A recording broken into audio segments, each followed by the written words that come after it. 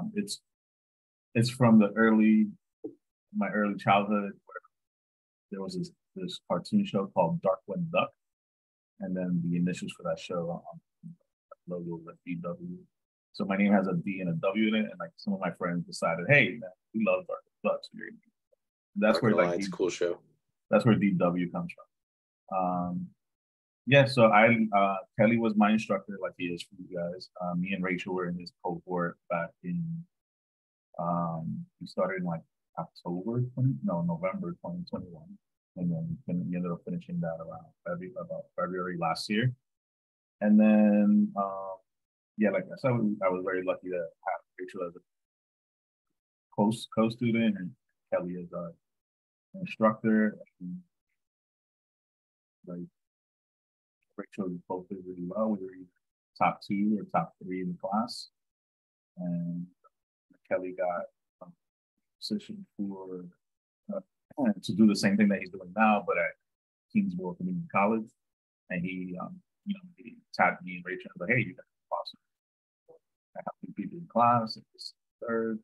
I want you guys to come to TA. for Me and Rachel TA for Kelly over at Kingsborough. Two. There was two cohorts right now. Yeah, there's two. MIC yeah, one and two. Yes. And, uh, so we did that, and that was pretty awesome. Um, and then we got called back to the generation at that time. So um, this time we weren't the same cohort because I actually started Kelly. Mm-hmm. I started maybe three months ago. Kelly just started three weeks ago or something like that. it was like, hey, we're in week seven. Oh, whoa, yeah, yes. Time flies. So you guys are almost done. Five more weeks. Yeah. So yeah, pretty close. So I think we have we have total 13 weeks. So yeah, six weeks. So, but yeah, man, I, I, I, I can't tell you guys how lucky you are. I Kelly. He's an amazing instructor. He, um, uh, he he's taught me everything I know. Uh, Lies. And uh, he kind of like showed me what um what like education as an adult can be. You know, non-traditional education, and because of that, I actually went back to traditional education and I'm like working on my on finishing my bachelor. I'm very close. I should be done like within the next year.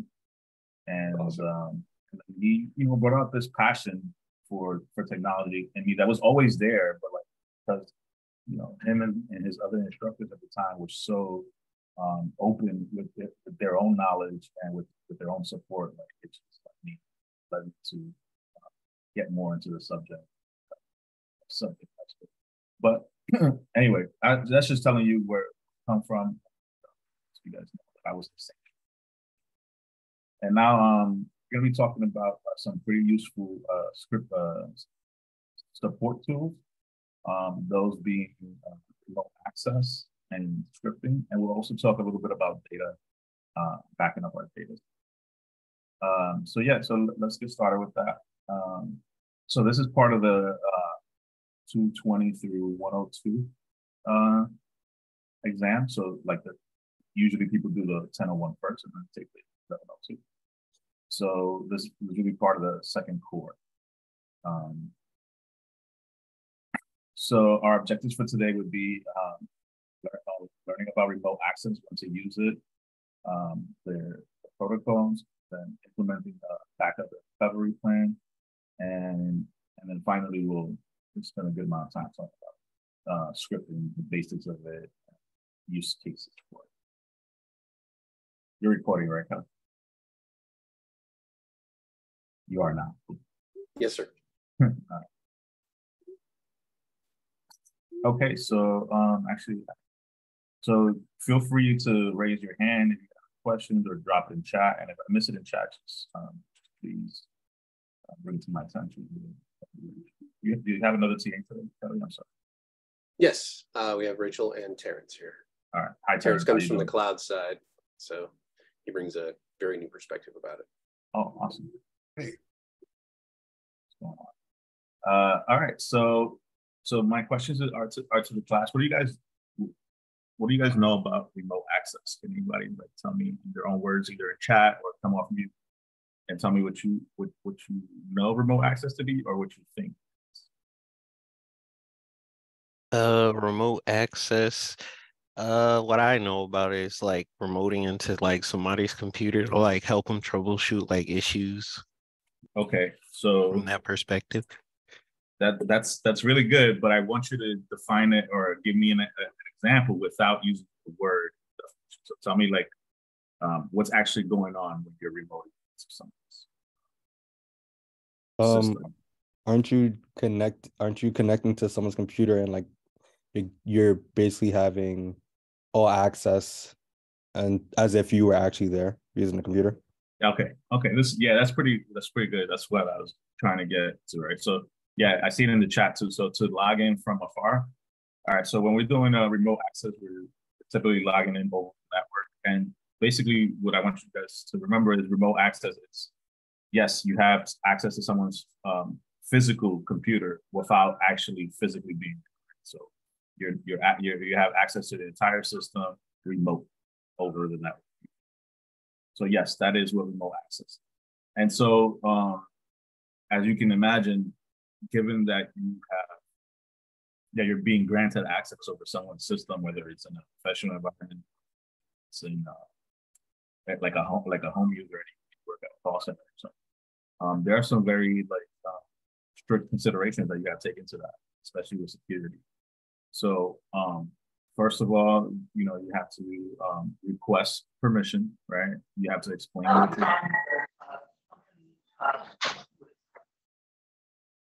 Uh, so you need to request permission, um, right? Uh, you have like you if you're um, if, if you're troubleshooting with someone, and you feel like you need remote access, you need to tell them, hey, um, you know, I, you know, or this isn't working. I might have to do a more hands-on approach. Um, there's this tool that we could use. It's uh, whatever your tool is, it'll grant me access. but you need to, you know, be vocal about that. Actually explain what that means. You, have, you know, they're not going to be able to move their mouse. Um, they're going to see things opening without them actually doing those things right? And then also once once you've done that, you need to walk them through every step that you're doing. Like, hey, going into your Windows folder, I'm, going to open up such such and such file. Then we're going to troubleshoot that application again, and you know just let let them know what you're doing through every step.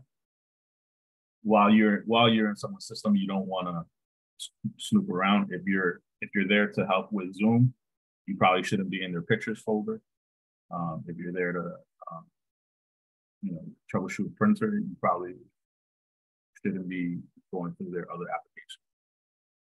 Um, and then uh, at the same time, there might be, you might come across things that are very personal. You shouldn't discuss those with other people. Uh, you, again, you shouldn't go out of your way that are private. Uh, so we, we have a couple different ways to act to use remote desktop. So uh, remote desktop protocol was uh, is a is a networking protocol that was designed by Microsoft. It uses port uh, 3389, and um, what it does is it allows encrypted session uh, remote access from client to, to a host.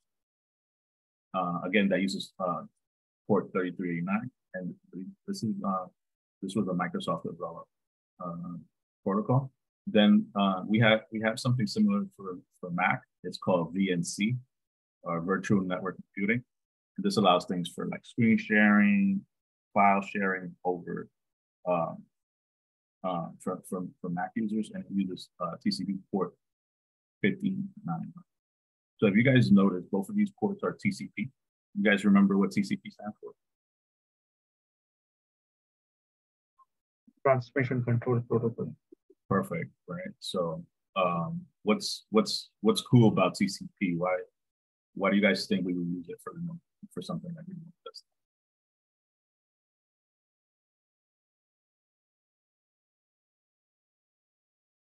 TCP is like one of the main platforms that um is alongside with IP, like that is used to get information from one computer from their network over to your network and to your computer.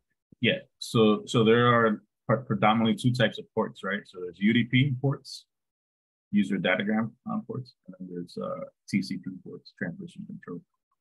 But there's there's a there's a specific um, there's something specific about TCP that we would use it for something like remote desktop. The three-way handshake. Yes. Well, that's yeah. So the three-way handshake is a connection-based protocol, meaning it establishes establishes and maintains a connection. Um, so that's why we use like all our RDP ports. Um, so yeah, that's really good. Awesome. Good job, guys. So yeah, wait, you guys were awake when Kelly was going over networking, or was it Rachel? I take no credit. All right, awesome. Okay, so um, so our RDP server would be uh, something that that that is set up right as a, uh, something that provide remote desktop services. And again, you you can set up things uh, like security options, like which accounts are allowed to connect. You can you can so you can set up uh, those authentications at a network level, which is what uh, NLA stands for. And then the RDP restricted admin mode, remote credential guards. That's that's kind of again. So like uh, I'm gonna I'm gonna quote. Um, I well I'm not gonna quote. This is has nothing to do with tech, but I'm sure some of you guys are movie fans or comic fans. What did Ben say um, to, uh, to Spider-Man right before he died? What did Uncle Ben tell Spidey? Dory had it. Huh? You well, you should. I said no. I said Jatoria had it. She said it. Oh, she did. I'm sorry. Say it again. I power had it. come with With- great responsibilities. Yes. So great power comes with great responsibility. So even even like uh even for the text that or the people who are using remote access, right? There's certain certain things that we don't that we shouldn't be allowed to see, right? Even if we're working in IT, we probably shouldn't know, you know, like super uh confidential stuff, like people's salaries and things like that.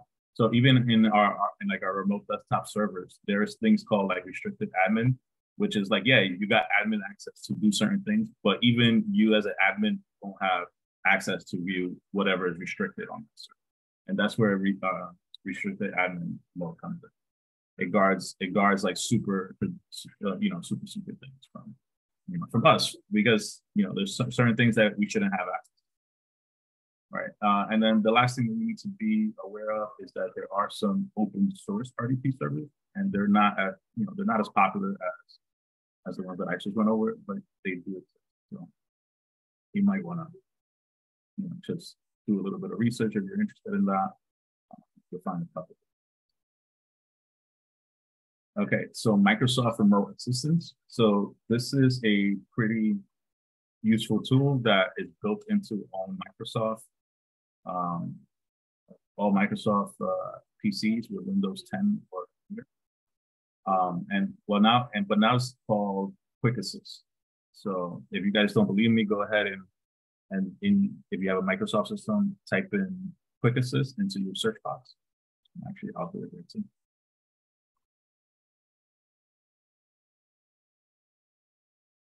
Okay, so you should get this little applet. Um, I don't know why it's not fully loaded. Let's try it.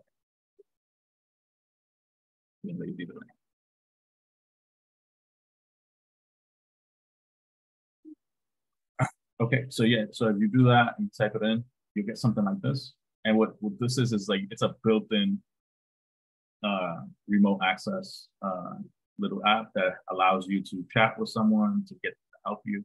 I'm not saying it's it, it, and it's not going to be a professional. Right? It's, it's just going to let's say um, let's say I have an issue and I need I need someone to walk me through it. I can you know I can message Kelly and be like, hey Kelly, open you know dust off your old Windows PC and um, I can generate a code, give it to him, and he'll be able to. Or vice versa, if I need his help from, from Rachel, I could do the same thing. If Rachel needed help, and it's a way that we can um, we we can give and receive remote connection.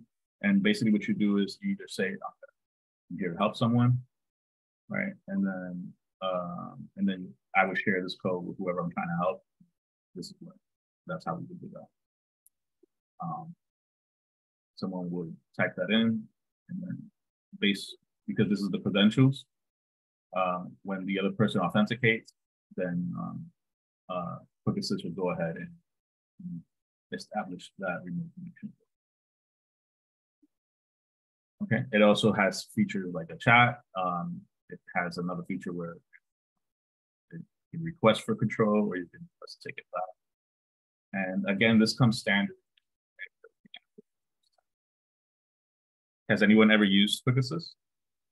I, I may be preaching to the choir.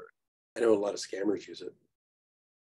Quick Assist, the, I think the Quick Assist is harder than to use than the other ones. So there are They're the the the win link, the Windows links to like, oh, I'm gonna give you a website to go to. well, always be careful who you yeah. I know AnyDesk is very, very popular for that. Yeah. Um, yeah, be careful of everything here. Have you gone through security with them yet? Have you scared the bees out of them? we were going over security this week. Oh, okay. so you have. Okay, so you, Kelly's favorite topic: security. Don't trust anyone. Your mom sends you an email, scan it. no, just put it in junk.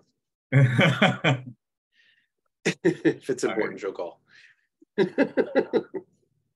All right. So now we're going to talk about some specific protocols that these uh, uh, remote applications use.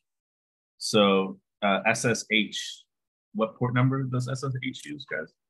I forgot. 22. 22. All right. And uh, SSH stands for Secure shell. Secure shell. All right, and then the last question is secure shell secure. Everyone always answers the first two, but then it takes a little while, right, for the third. It's not a trick question, guys. It's uh, secure shell secure. Yes. Yes. All right. Cool. Good job. all right. So secure shell. Uh, so secure shell is a uh, text a text based uh, command line uh, remote access protocol. Uh, that you know, it's a fancy way to, of saying, yeah, you have access to someone's uh, system all over the command line. Uh, but what's awesome about SSH is that um, it is secure, right? So it uses um, it, it uses public key authentication, which is actually pretty good. Um, and and because of this, um, this tends to be a very a very um, popular port for for remote desktop um, access. Uh, there is another one in our well-known ports called Telnet. You guys know which number is Telnet? 23. 23. Good. Um, 23. And like Secure Shell, Telnet is also a, a text-based uh, command line remote access protocol. The only thing is that um, Telnet is not secure. Uh, Telnet is, is what we call um, oh, um, I'm sorry, in plain text. In plain text, yes. Yeah. So Telnet is what we call in plain text, meaning that if someone uh, is able to interfere with your connection, like uh, if you if someone is able to get into your connection, then they they will just be able to read everything. It. Um, it's not encrypted at all. So um, for that reason, it tends to not be used. I mean, I feel like it's a good reason. But with that being said, there are some like, cases where it may be used. But typically speaking, we, we probably and it's for that reason we use All right. So, um, all right. So now that we kind of like talked about um, the remote desktop um, protocols, um, what what do you guys think are some case uses for this?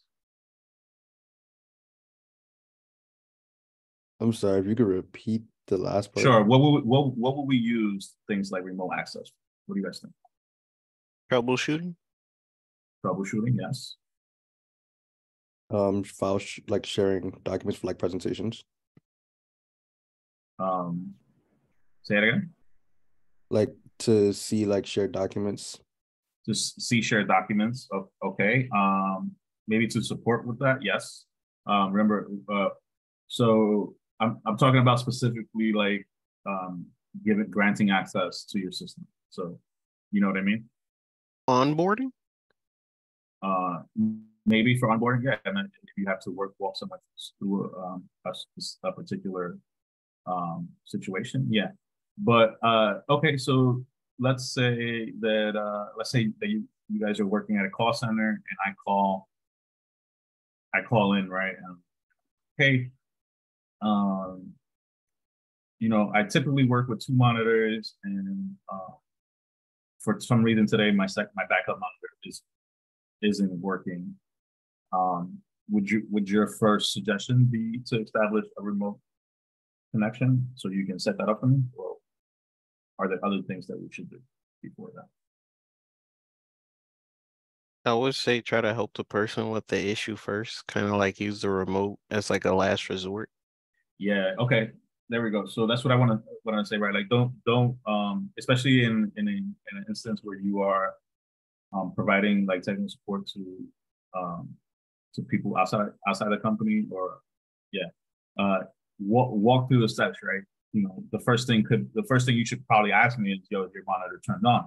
I'm not kidding. That's the probably that's the first thing. Like, you know, is um, are you in the correct input um, mode? Is, is your monitor connected on both ends? Like those are that's probably the things you know. You got to start with the obvious first, and then even even after that, like something remote support would probably be like fifth or sixth down the line for me, right? Like it's not gonna. It, it would be like I would go with the obvious, the simplest solution first, and then I would also gauge if the person is able to, because because if, it's Kelly, I probably don't need I probably don't need to remote into the system to help Kelly out right? because he's he's versed in technology. Same thing with Rachel. Now, if it's like my mom, right, who doesn't know what the power button is, button, that's going to be a long call, and eventually I might have to uh, remote that time. So um, definitely use your um, uh, your two cents when doing this. Uh, but again, uh, it, it becomes pretty uh, I don't want to say easy, but it, it, it should become like common sense. Like you should use this tool. So um, we still have to talk about uh, DM, the, the desktop management and RMM. And these are uh, these are tools that that are used by like um, MSPs. Do you guys know what an MSP is? Hey, what happened to my camera? I, I think you might have turned it off to save bandwidth because your voice was a little choppy in the beginning, but it's doing really good now. Oh, okay. All right. All right. So we'll leave it off. Then. No one needs to see my mug anyway. You got, you got your catfishing picture up, so you're good. All right. it is my catfish. uh, what are we doing? What, is, what was my question, guys? I forgot my questions. Does anyone know what an MSP is? Manage service book. All right, awesome. Yeah, good job. Whoever said it in um, whoever came off mute and Katie chat. So, a managed service provider. Managed service providers are people who manage your your IT for you, right? Like let's say, let's say you're a small business and you can't afford to have an IT department, so you go out and outsource that to an MSP, and they take care uh, of your IT needs. So they have these uh, tools called R, uh, RMMs, which is a remote monitoring and management tools. And through that, um, they also establish UEM, which is Unified Endpoint Management. And basically, this means uh, so uh, uh, endpoint is a is a host, like is it's another you know it's another term for the the user. So it's pretty much a unified like user.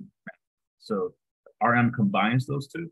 And what it does is it grants things over remote connections to like do security scanning, push push updates, push um, uh, deployments, remote support, um, even things like um, um, performance monitoring, log collections. All you know, all these things are able to be done over RM.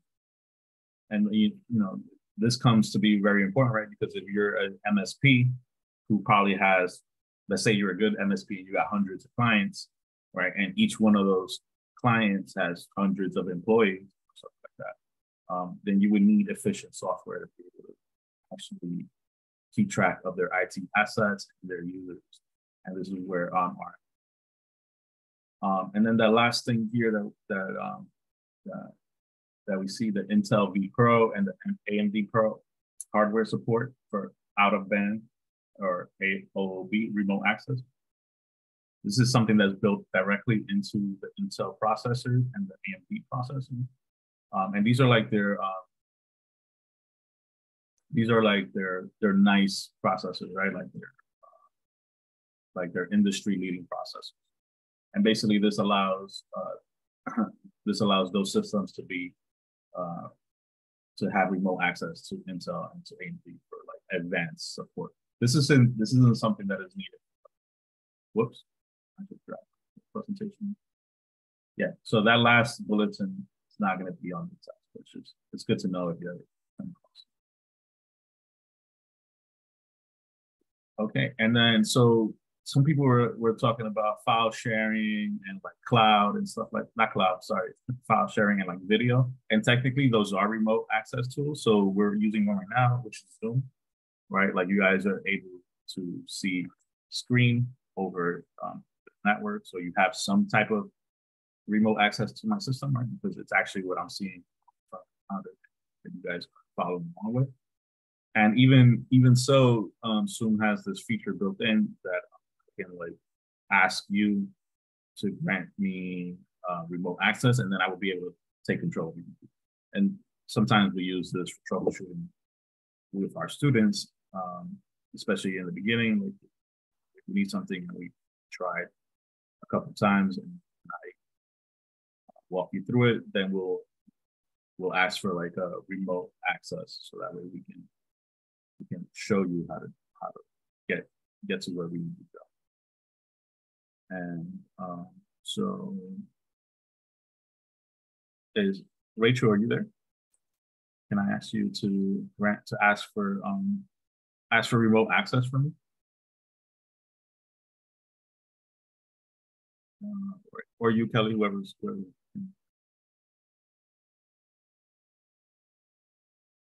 What do you need? Um, can you ask for remote access? So go to like the new, go to share and then and there should be something that says ask for remote access or click on my name. There's a couple Is this-. Is this in Zoom or? Yeah, this is in Zoom. okay. Yeah, yeah, yeah. You you haven't used it yet? Oh, good. So you get to get to experience it. I think if you go to like my participants and like right click. Oh, okay, Kelly's one. So Kelly, so you guys can't see it, but so this is the uh, notification. Kelly is requesting remote control of your screen, and um, sure, I'll approve them.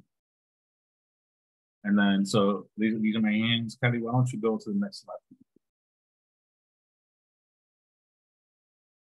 All right. Uh, that's that's good. Go to the next one. 10, slide 10. But uh, if you look at the top of the screen, you can see, or you should be able to see. Uh, do they see it in yellow, or is that just my screen? Nah, that's just your screen because you're going right. Yeah. Yeah. So, but yeah, so Kelly's Kelly's the one controlling the system. All right, Kelly. Um, how do I get my stuff back? I uh, will stop remote. There you go. Yeah, awesome. Thank you. All right. So yeah, so um if you're ever in a pinch and you have a Zoom account and you forgot about Quick Assist or the person who doesn't have Quick Assist, because Kelly, you're on your Mac, yeah? Yes, sir. So Kelly's on his Mac and I'm on Windows and we were able to use Zoom for that. So there's some another nice little tool to keep you know, handy and a lot of other video conferencing a lot of other video conferencing softwares do do these. Like I know uh, Skype has something like that. Which one's the Google one? Google uh, Meets. Google Meets has something like that. Uh, so yeah. Um, then there's things like uh, file transfer software. Um, things like Apple AirDrop, uh, nearby sharing, Android nearby sharing those um those are also considered remote access tools. and finally, uh, last thing I want to talk about is virtual, uh, virtual private network. So someone remind me, please, because you know I tend to forget these things. Uh, what exactly is a VPN? Could someone describe it to me? So what? A VPN, this thing right here. A virtual private network. Yeah, can you tell me what, in your own words, what that is? Um, Oh, well, sure. Okay. VPN is a tool that you could use to kind of mask, like kind of like put on a mask of your where your IP is. So like you you being in your house, you can say you can make your computer present itself having an IP of your office, or you can access office tools if it's if the security in office is it only wants people to access using that specific IP. Okay, so you, it, it, you can use it for um, IP masking, but there's a, so, so you're kind of headed, he- headed there, right? Um, so a virtual private network is, um, you, you, has, let's say, picture a tunnel, right? And um, with, with endpoints, right? So you have your computer as one endpoint. Let's, let's keep it um, for a business purpose, right? So let, let's use our home computer as one network and then our office network as the other end, right? So this is, these are the endpoints. When you start a VPN, what you're doing is that you're starting kind of like an encrypted tunnel between those two points, right? And then all the information that's sent through this tunnel is encrypted and it's very, it's usually very high encryption, right? Because um, uh, when, when we're accessing professional network through here, all our data, we, we need it to be protected from evildoers outside. So we, we use uh, pretty good encryption even for the most basic VPNs. And then the very high-end VPNs use very, very good. So it's kind of, it's really hard to kind of like crack that encryption, get access to, to that. So, um, so that's what a, a virtual private, but you were headed on the right track. Um, but it's you know some people use it for things like um, uh, like getting a different IP address, but it, it's it's a little bit more than that in the, in the professional sense. So I want you to think about it as uh, kind of like that, like a uh, encrypted tunnel between two points, um, right? And you know, and the good the good what's good about that is that for remote access, it's perfect. Because, you know, we're we're we're doing things like taking taking taking control of systems, like um, um like I recently just uh, I recently just updated to to Windows uh to the Windows 10 Pro, right? And I, I and I finally downloaded Windows 11. I just I'm I'm waiting for my school semester to be over so I can finally update it. But um, part of, part of the reason for that is because um, now I'll be able to do things like Windows only has their Pro or better operating systems, and then basically I could take my um, I have a nice little Surface, and I could just instead of carrying my big old you know 35 pound laptop everywhere, I could carry my Surface, and I could just remote at, via VPN into into my system anywhere that I am to all my things on, you know, pretty cool. And I'm looking forward to that. But yeah, so that's um that's kind of like the, the the quick like one sentence definition of the VPN. It's like an encrypted tunnel um, that connects a client to a private network, um, you know, over over an encrypted uh, link. Is that would you? Is that how you describe it, Kelly? I don't want to step on your toes. No, that's about right. About right, not one hundred percent. You can never get I mean, it it's, you know, yeah, it's, it's communicating over an encrypted tunnel and it can unlock regionally locked acts, um, uh, Yeah. Thank you. regionally locked material. Kelly So- uses this for his um uh what is it? Attack on Titan.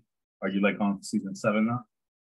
Dude, I'm, I have not even had a chance to watch it. I'm still in season two. Okay.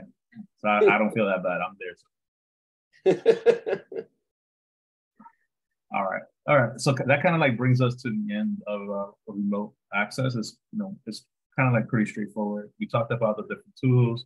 Uh, art, we talked about RDP, so Microsoft Remote Assistance, which is now Quick Assist, uh, Secure Shell, Telnet, um, and then RMMs, and then other remote access tools like video conferencing, file sharing, and VPN. You guys have any questions for me about this stuff? Yeah, you said um RDP uh, with Microsoft. You did you say it needs Windows 10 or 11? No, no, no. So RDP was uh, is an old uh, is an old port. It's just what was developed by them. So it, it uses port 3389. That's and that's the that's the protocol. Yeah. Oh, okay, no, what I what I said was about Windows 10 was Quick Assist. So, so Quick Assist comes uh, with, with Windows 10 and, and higher, like already in the system. So if you have a Windows Oh. 10 PC, you can try this out. Just type in Quick Assist and it should pop up. Does that mean the computer you're trying to remote into would have to be Windows 10 too or up? Um, no, if they have quick assist on there, then um, so typically what, what would happen is you would ask someone what, what windows they have, and they have tend to know that quick assist. If, if they don't, then they have the other one, which is the predecessor to it, which is remote uh, Windows remote access assistance, and then you could find a to do that either by. It, it, I don't know if the two mesh well. I haven't tried it. That's actually a good question. I can look into it. Any any other questions there, guys?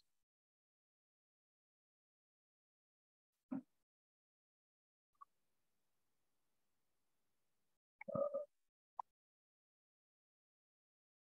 Okay, so there's no other questions while I look that up. Um, we can we can talk about the second the second topic today, which is uh, implement, implementing backups and recovery. Okay, so what's a backup? Let's get some consensus for what a backup.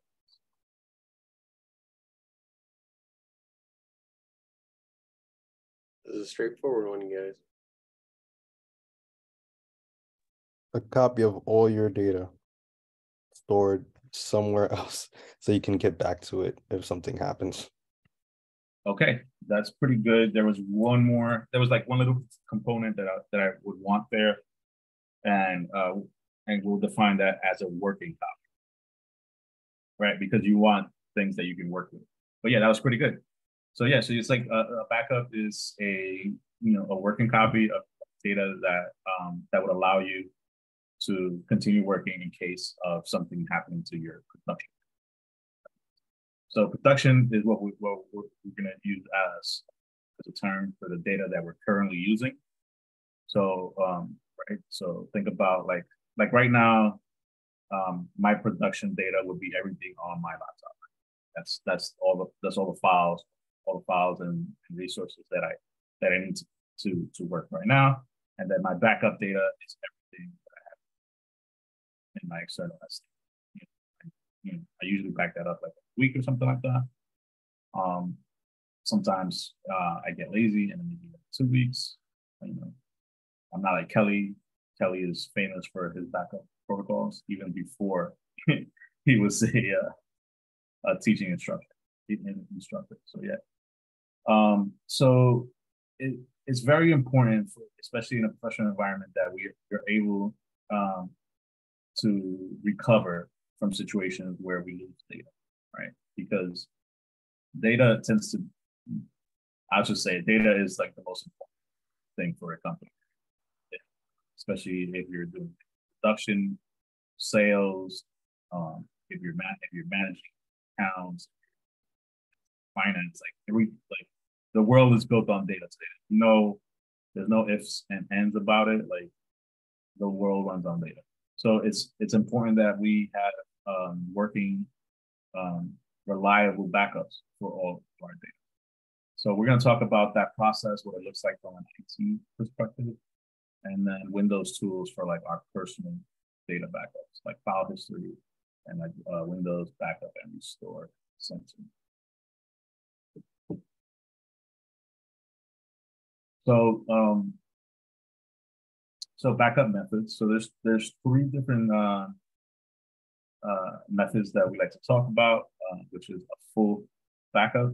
So a full backup is kind of exactly what it says. You're you're taking uh, you're taking uh, all your data and you're literally making a copy of all of it. Um, and because because um, because you're doing all the data, this tends to be um, the highest, like the, the highest uh, time and storage um, demand, meaning that it takes the longest time to back up that data to make that copy, and it takes up the most space. Right. Um, but then recovering, like let's say something happened and you need to recover, um, then recovering from a full backup is actually the easiest one in terms of uh, complexity, and um, and it's also the fastest one to recover. So while while backing it up is the longest and it takes the most space, recovering from it is the simplest and fastest one. Um, the next the next uh, data uh, uh, backup method would be incremental. And what happens here is that any new files or files that have been modified since, the, since your last backup job, um, those will be the ones to get to, to, to get back. So like, let's say, so today I worked on this file here, the copy of whatever the title is here, copy 220, 1102, 19. So since I made changes on this, this will be the only thing to be backed up, right? From from the last time that, that um, so this was actually the fastest one to to back up because again, you're only you're only saving the files that that you, that you worked on or new files since the last backup. But then it to recover from it, it, it actually has the highest. It'll take you the longest time to recover. Because what happens is the system needs to go back to each incremental backup and kind of like work backwards.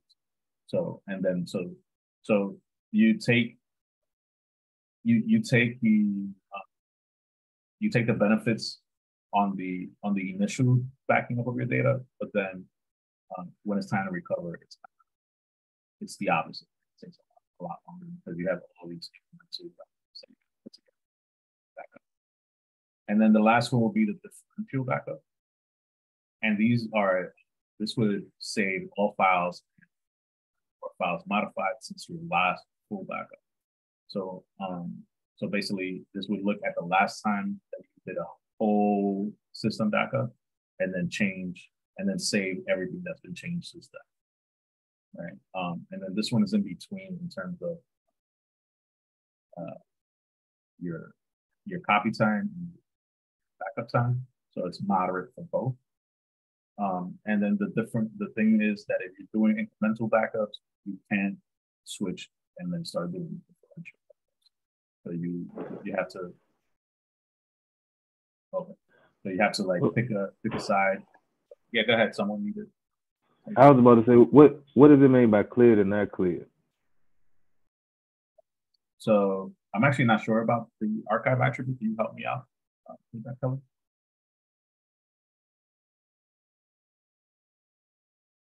This archive With regards to cleared um, and not cleared? Yeah.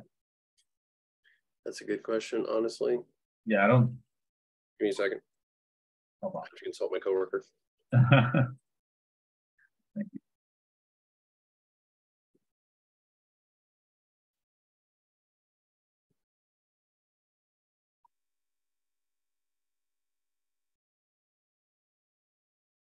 Okay. It is what it says it is. Okay. So basically, um, what happens is, is it's an archive attribute. So when um, it's what it's going to do with the old copy once the new copy is created. So if it's going to be erasing and getting rid of the old copy, it's going to be cleared. So once new copy is created, old copy is cleared. Oh, okay. And if it's not cleared, then the old copy Not stays? cleared basically means as the as a new copy comes in, the old copy is not cleared. So it's not erased. Okay, so if you, so uh, so I had a full backup right last month, and now I'm making another full backup this month. So once it's done, it takes my backup from last month and it clears it out. Is that what we're going with? Yeah, that sounds about right. Okay, that makes sense. All right, awesome. Thanks, Doug. Mhm. I thought it was something around those. Yeah, Hmm, I'm sorry, guys. Water.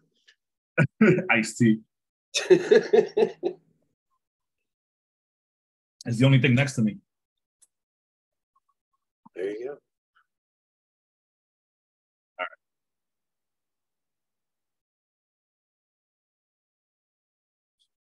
Okay, so um, so as you guys know, we have different storage medias, and um, so one that's very, it's kind of like a grandfathered one, but it's still it's still used, especially for in like critical data is uh, tape drives.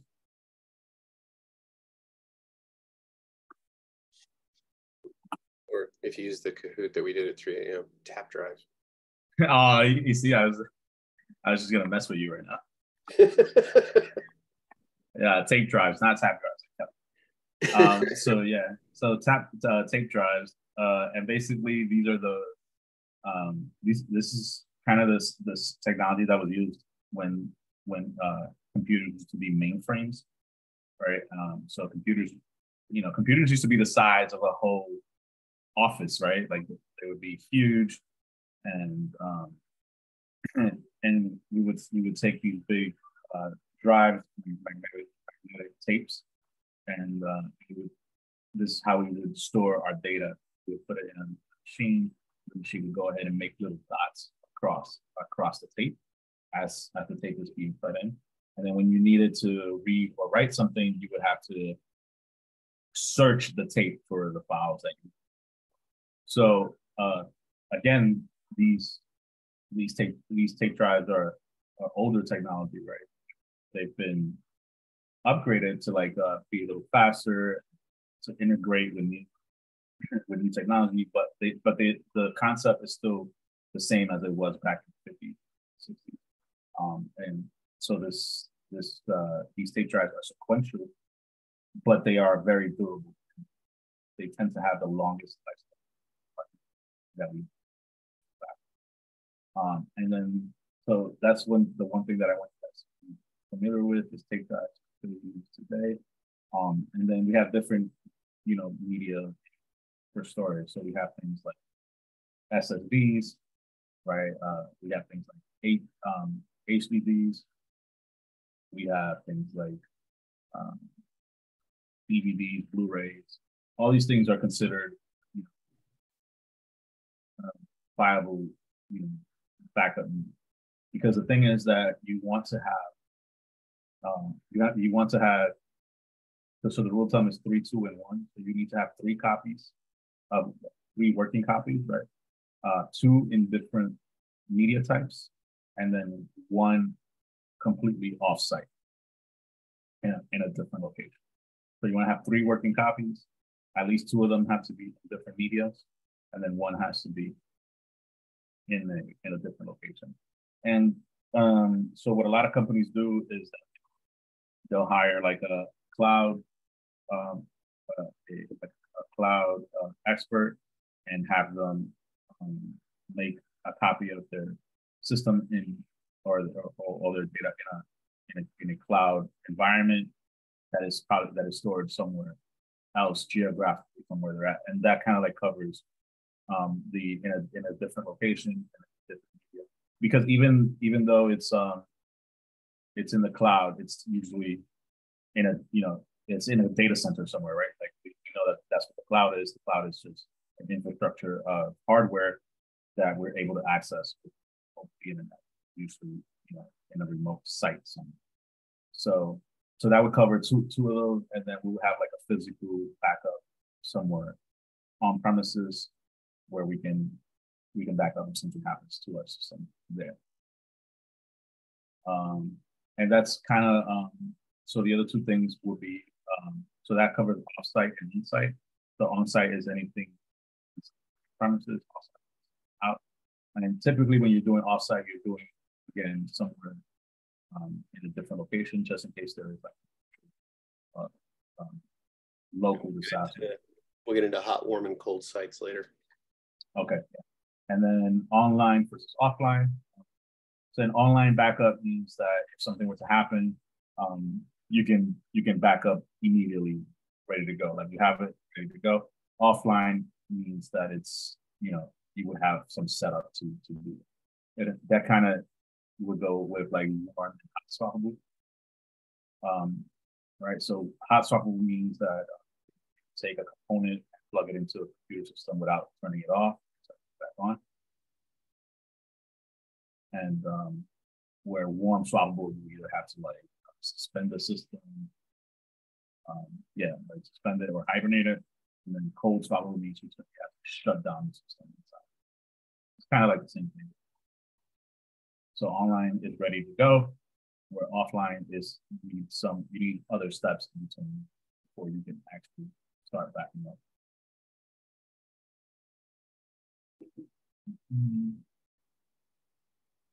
And then, so have you guys ever, um, uh, like, have you guys ever like taken notes and then realized that the notes you're taking are terrible because the person who took them?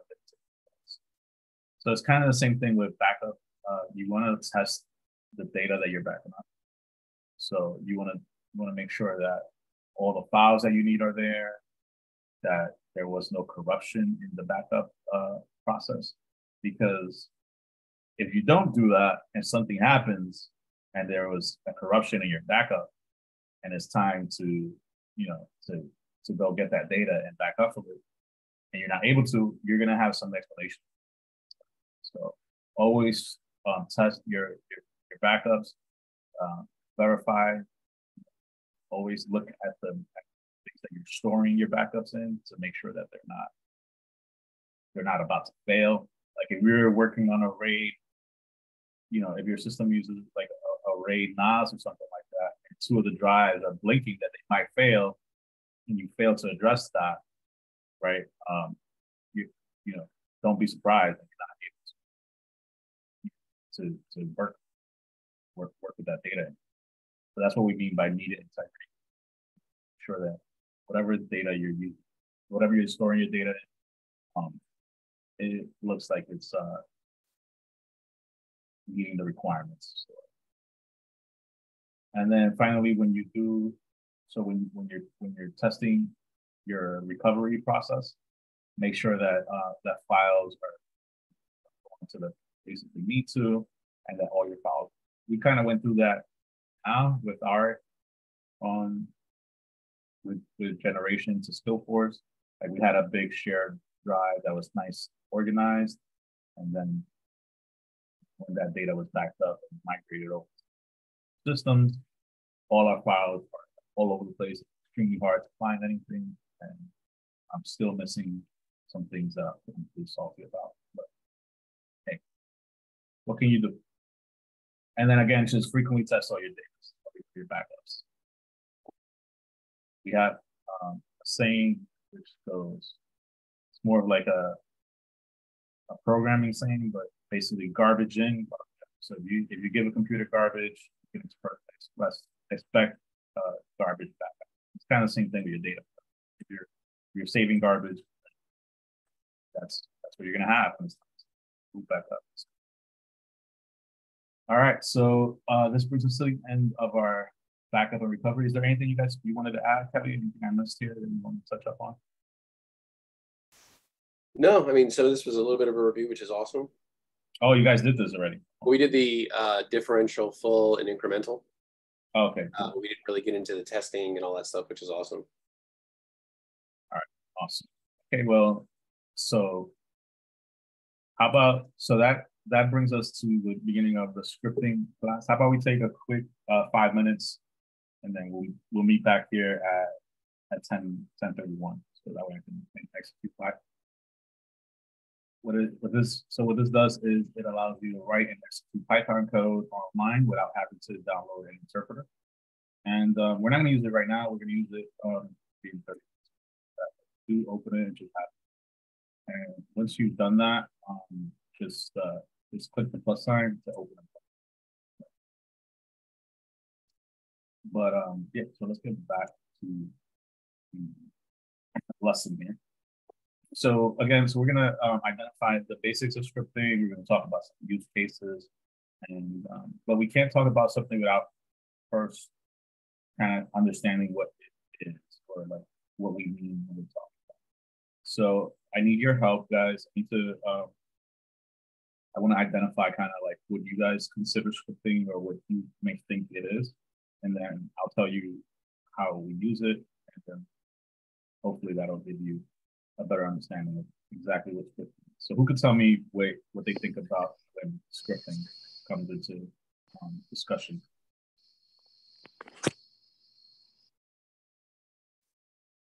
You mean like scripting is something like a code language? A code language, okay.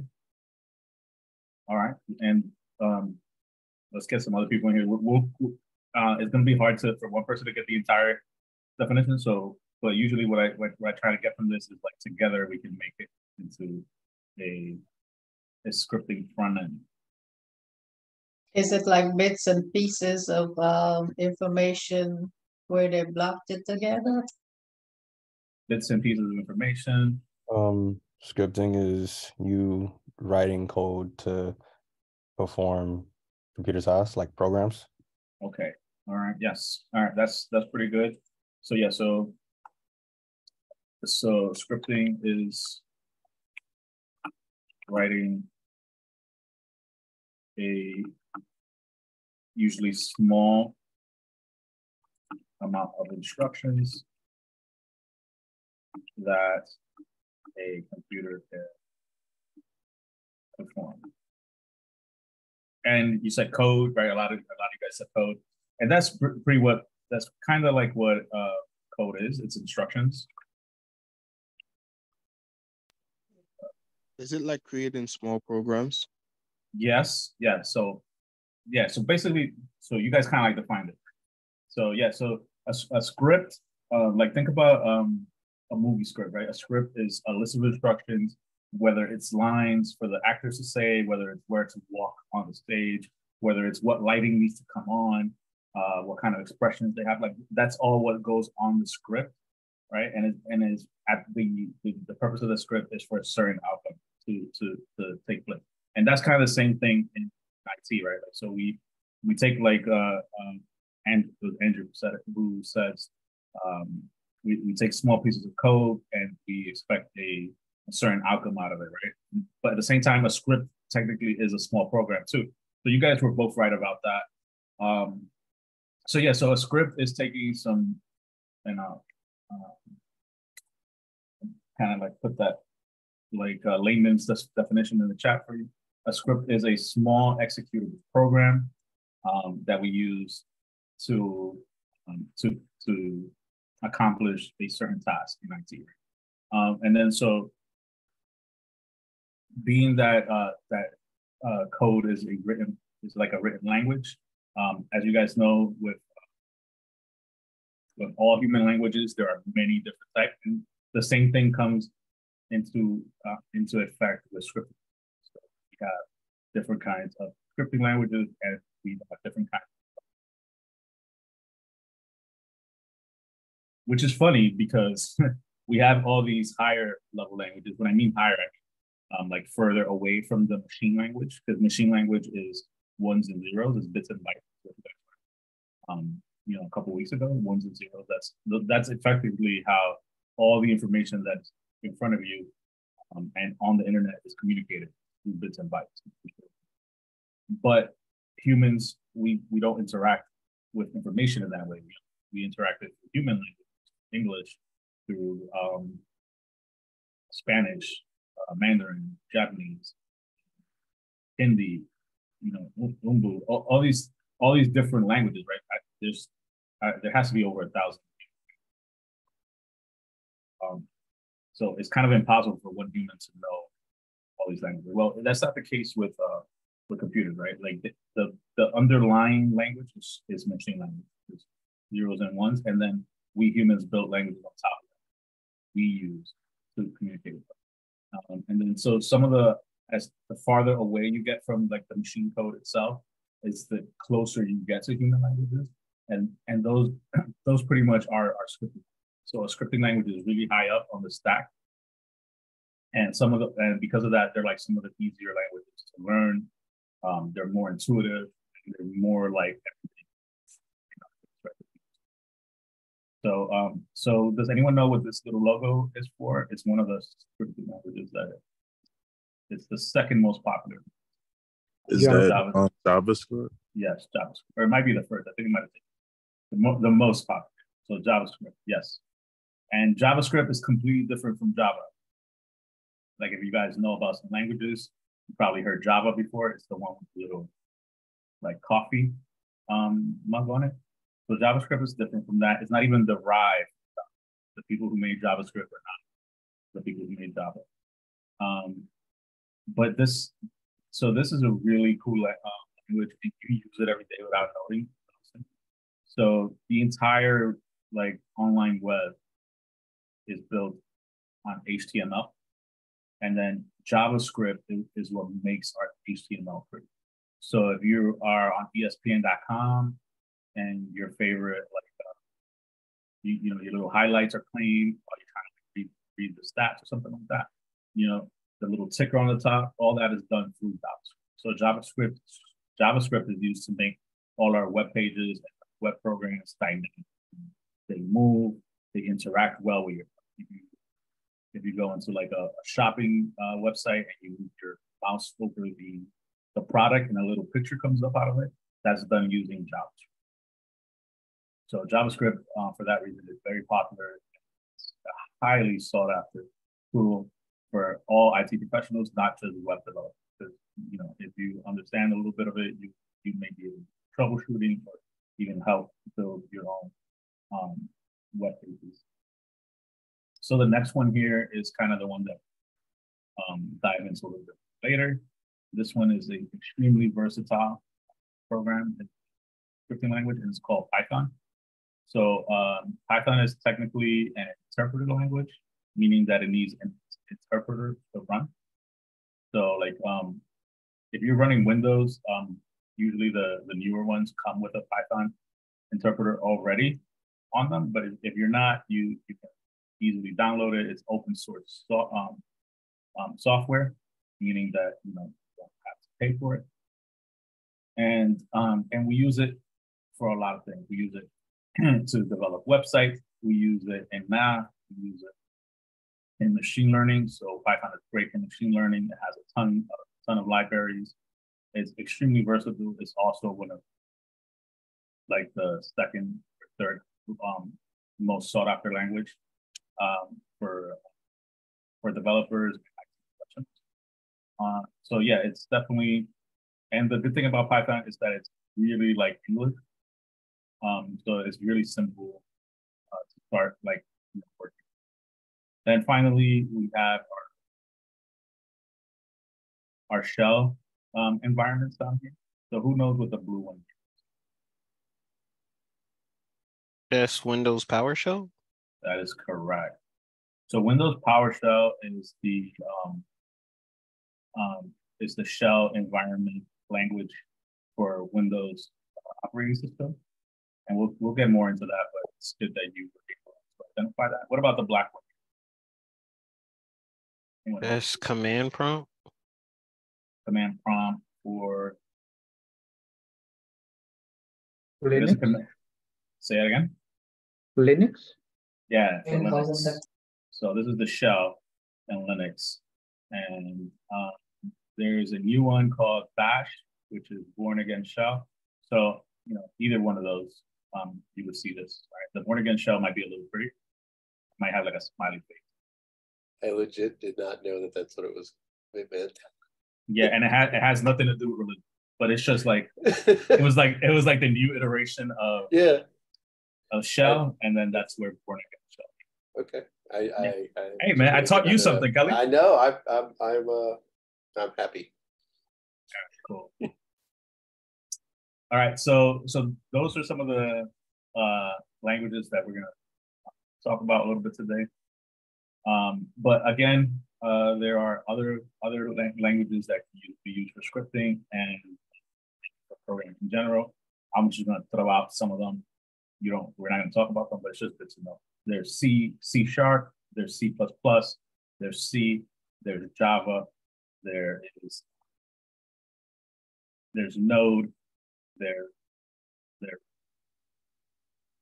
Ruby on Rails, um, and there's just a lot, so many of them. There's COBOL, uh, COBOL, COBOL is like all goes all the way back to like the 60s, and it's kind of like what uh,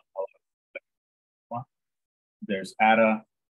There, there's a really large amount of options out there. And what's great about them is that like all these engineers who design these these languages, they all built them for with with their own strengths. So they're think about like superheroes, you know, like um, you know, you you you have Aquaman and Batman. You're not gonna send Batman out into the middle of the Atlantic when you have Aquaman.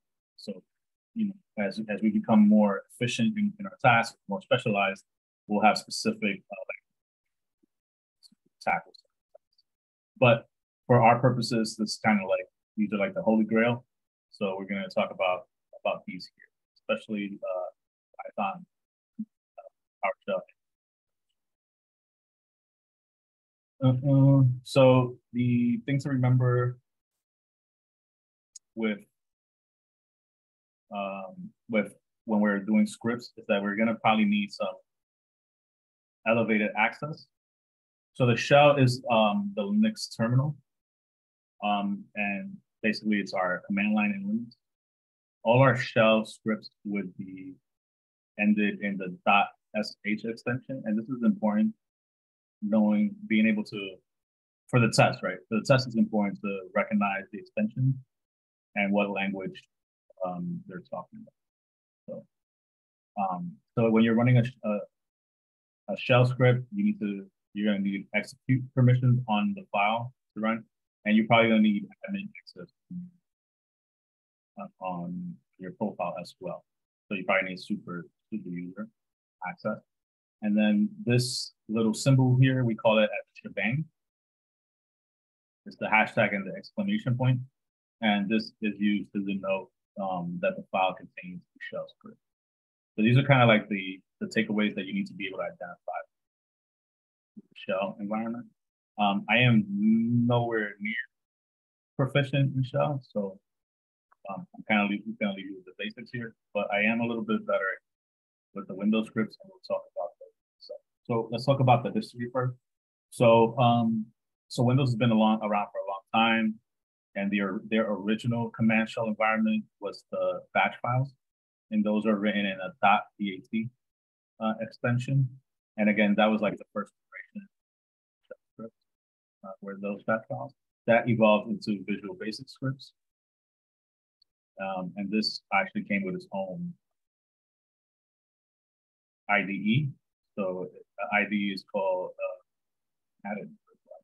so uh, integrated development environment. Basically, what an IDE is like a fancy, a fancy like text editor that also allows you to run code, debug, and things like that. That's what um that's what IDE is. and then the newer one that we have is PowerShell, and PowerShell is pretty awesome. So it's versatile. It's versatile, and then it has these things called commandlets. And commandlets are like specific commands that allow you to do things in PowerShell on, on your Windows. And there's also a PowerShell integrated scripted environment, which is the same thing as an IDE, except that it's for uh, specifically for PowerShell. So that's it's pretty it comes uh, pretty fun. So um so you you could open up the ISE and like um, test your scripts. You can use it to help you edit text, like uh, refactor thing.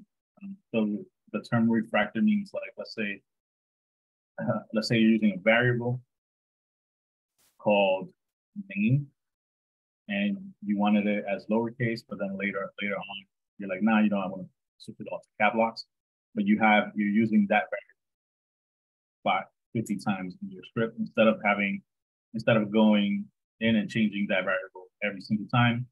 There's this thing called refactor where you click on the variable name or you right click on it, refactor it, and then you rename it. And then every everywhere in your script where that variable uh, changes to what where that variable variable was at, it'll change to your new value, which is pretty cool. Saves you a lot of time. We'll see some of that in a minute. So so again, these things in the parentheses are their extensions. So a PowerShell script will be ended in .ps1, and I will know that as PowerShell, a PowerShell file. Same thing for VBS, it'll end in .vbs, and batch file will end in.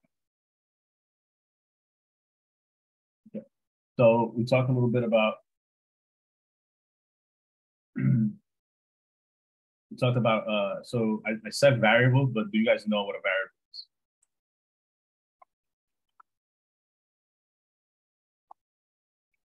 Uh, possible outcome?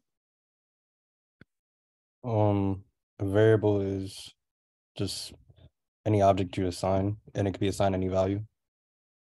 Okay, Change. kind of kind kind of getting close to um so what's the variable there? Is it Darwin or is it name? In the chat. Would it be name? So name is the variable. So name holds a value, right? So that's why it's called a variable. So think about like when you when you were in school and you were doing like algebra, right? And you had to find out what x was. You know, x was the variable, right? Because that's what was holding that mystery information or whatever its value is. Right? So it could change. You don't you don't know exactly what's it. It's kind of the same uh, in programming, except that um, we we tend to know what we're gonna put in our in our variables. So like like like right now, I have a variable called name, and I'm gonna assign it a value of Rachel.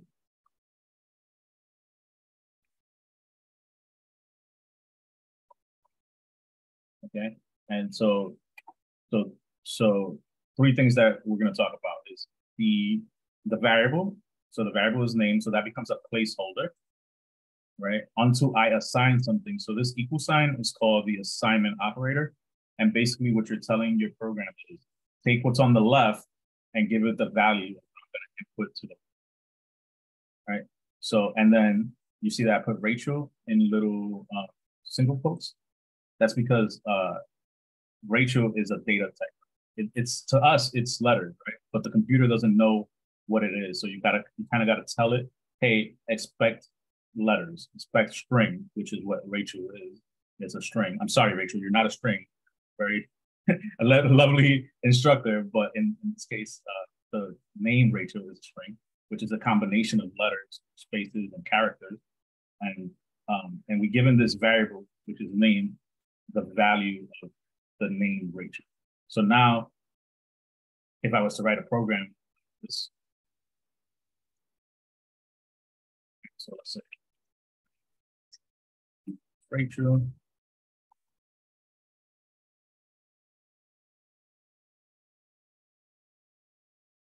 So I've assigned uh, I've assigned uh, the the value of Rachel to name, and then I want to say I want to do something like, hey, print. I want to say hi.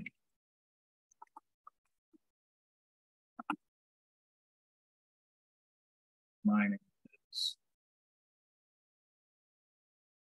I'm not going to put that, right? I'm just going to say, hey, I'm using a variable called name. I want to print out, hey, my name, my name is whatever is stored inside of name. And then like if I run this, I expect it to say, hi, my name is Rachel. And then because we're not hooligans, we're gonna end our sentence with a And let's go ahead and run this. So hi, my name is, wait, why do I have a space? Hmm. But okay, so we got what, what we wanted, right? So we got a sentence that I told the the the interpreter to run, and then I, at the end of the somewhere in that sentence, I was like, hey, there's this variable called name. I want you to print whatever is stored inside of that name, right? Same. So like, um, And let's assign Rachel a row. And someone had a question about double quotes, right? Let's see what happens if we use double quotes. And again, this is in in Python, so the, the rules change depending on the programs that you use. Um, and let's print the second statement out.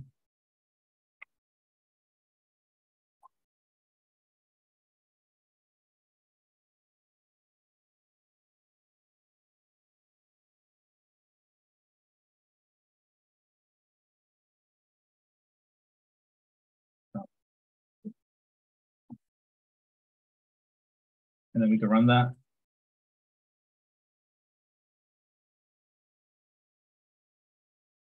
Oh, I had a period already in assistant. All right, so now we have two variables, right? And we had one with which was name that had some value on it. And then we had a row that had another value. Both of these values um, are, are strings. And the way that we tell Python that it's a string is by either using single quotes, right? Or double quotes. Anything inside of these quotes, Python will inter interpret as string, meaning as characters, right? And those strings can have inside of them, they can have spaces.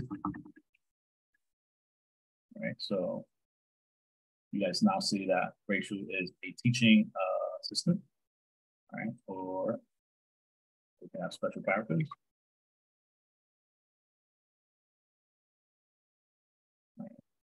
Have numbers inside, even though the numbers Many can't. Many of those special characters will have different meanings outside the quotes. So that'd be Yeah, almost yes. the only time you could use them is inside the quotes. Yes, and uh, you can also put numbers in there. So what, what basically happens is when you tell the interpreter that you're using string, it's like, okay, this doesn't concern me. It's just print whatever is coming out. Because usually when we're not using string, then the uh, interpreter is going to be like, hey, I need to perform some kind of calculations on this. And and it'll take it'll take that information and try to use use the data types. So string is one type of data type. Then we have something called integers. Who could tell me what an integer is? A whole number. A whole number. Okay. Uh, give me an example of one. Zero, one, one Okay. fifty-six. Okay. Any any any any others? Negative two. Yes, thank you. So in any uh any number, negative or positive, whole number, right? So let's say that um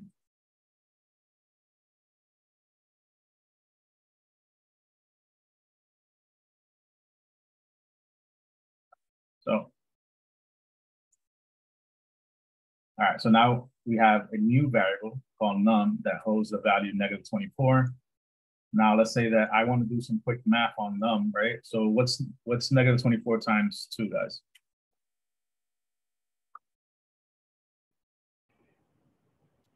Negative forty-eight. Forty-eight. 48 or negative 48? Negative 48. Positive. All right, so 48. yeah. Yeah. Now, if we were to change this to a negative, then positive, right? Negative equals positive, right? So we can, so we can use, we can perform certain types of tasks and operations based on the data types that we provide. So, like, let's say I was fancy and I was like num times name. You guys think that that will run? Uh, No. Why? Why is that, Julian?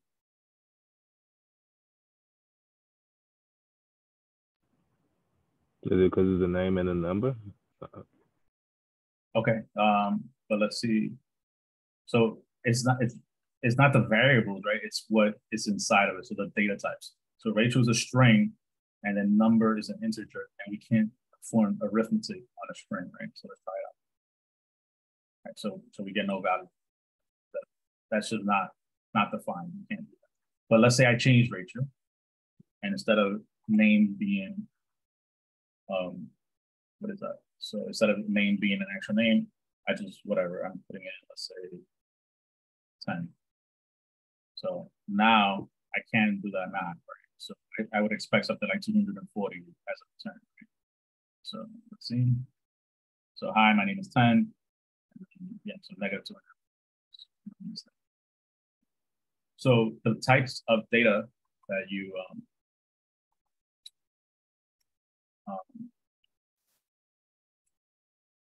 so when you're assigning something in, in Python specifically, when you're assigning a a value to a variable, whatever you assign to it kind of like determines what you can do with it later.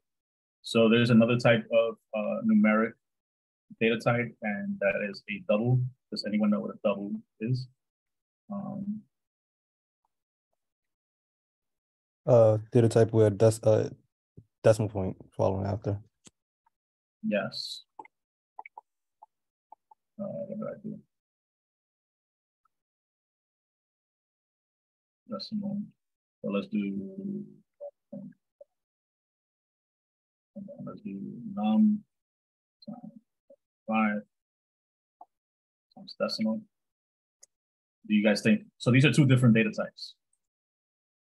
Right, um, num is an integer, which is, we said already is a whole number, right? It could be negative or positive. Same thing for a flo uh, float or a double, it, but it holds places after the decimal point now, right? It could still, like this could still be a negative.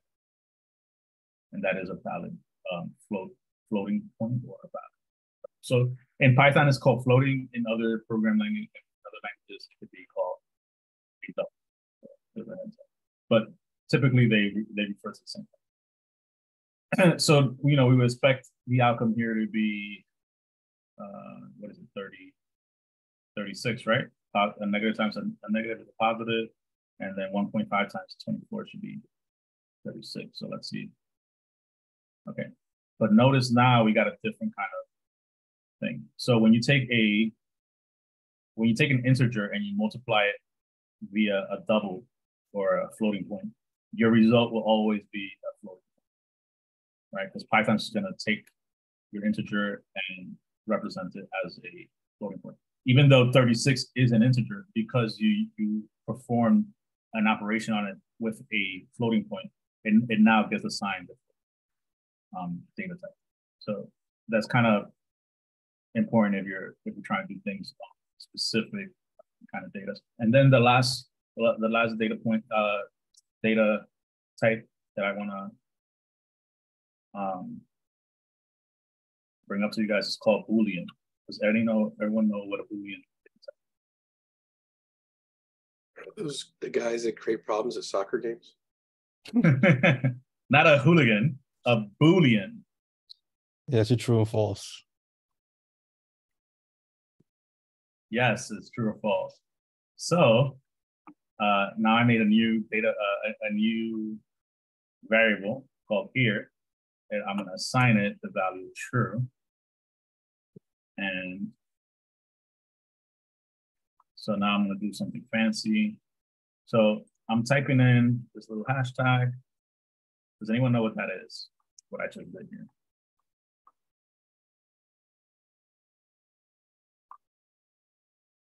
You're commenting out. I'm commenting out. Um, what does that mean? Basically, it just means that it's not gonna, it's not, the compiler is not gonna read that. That's right, it's it's gonna ignore it. Yeah, perfect. That's awesome. That's good. That's good. So yeah, so we use this thing called a comment, um, a comment symbol in Python. It happens to be the um, the hashtag, right, or the number sign, and we put that in front of whatever we want our program to ignore. So right now, I want my program to ignore all this stuff about printing, right? And then I'm gonna make a new. Uh, I'm gonna do something new now, where I'm gonna say if here is true, I want something to happen. So this is called a, uh, a control statement. So uh, if uh, if else uh, control block is gonna evaluate a condition, and then it's gonna if it's if if that commission if that condition is is met, it's gonna execute some code and if it's not, it's gonna execute something else. So, um, so if here is true, let's print out um, name, comma, is here. Something is wrong with my grammar today. Right?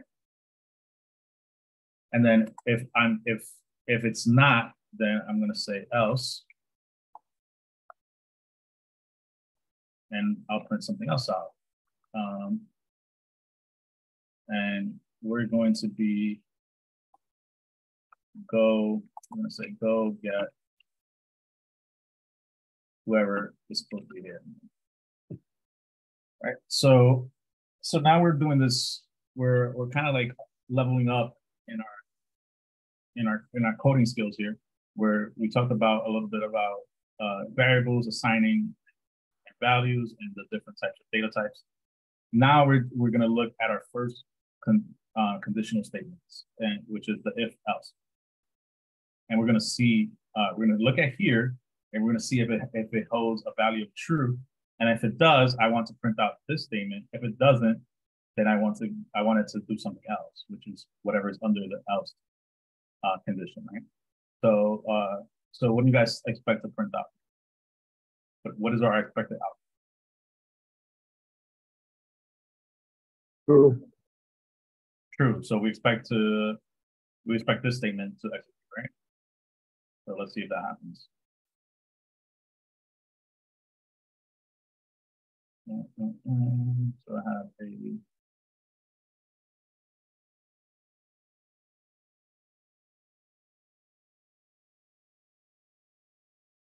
Sorry.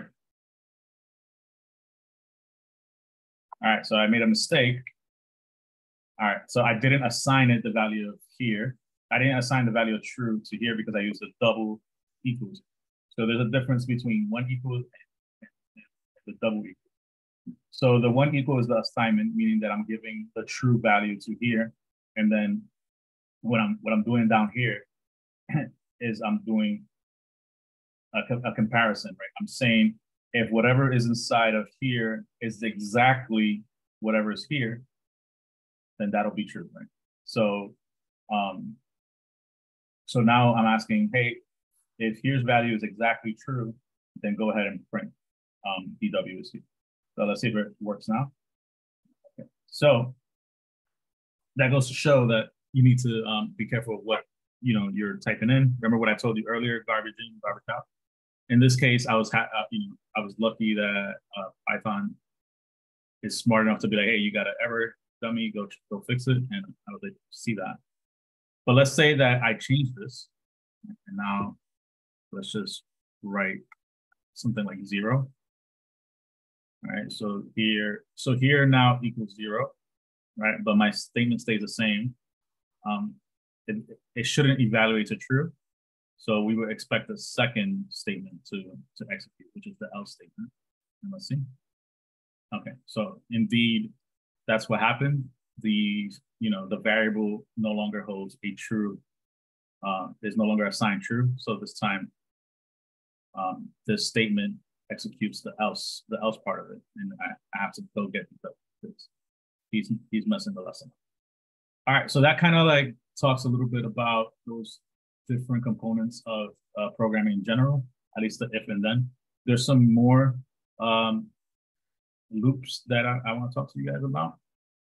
And I have some examples for those, for those. But again, um, so let's talk about like our, uh, like our arithmetic operators, because a lot of times we'll, we'll be, we'll have to do things like um, do some math, right? So what do you guys think this is here? What, what would what do we use this for? Multiplication. So yeah, so this here in Python and in most other languages, the asterisk is um,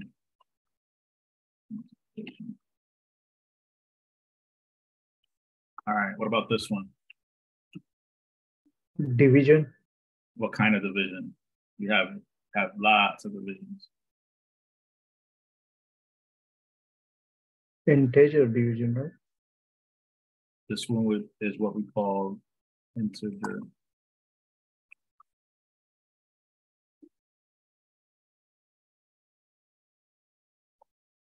Division. What about?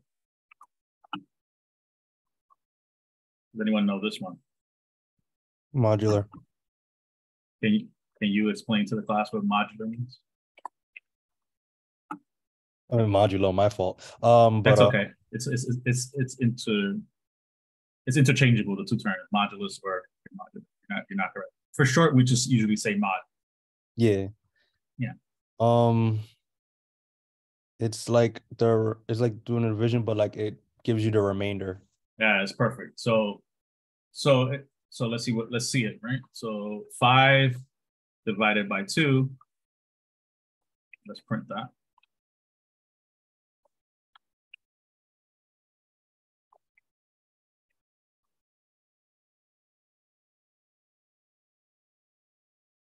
So in integer division, it basically just takes, it, it gives you the, the entire, um, uh, hold on. So no, this is just regular division. I'm sorry, whoever said that earlier, you correct. And then I think this one would be. This one is integer division.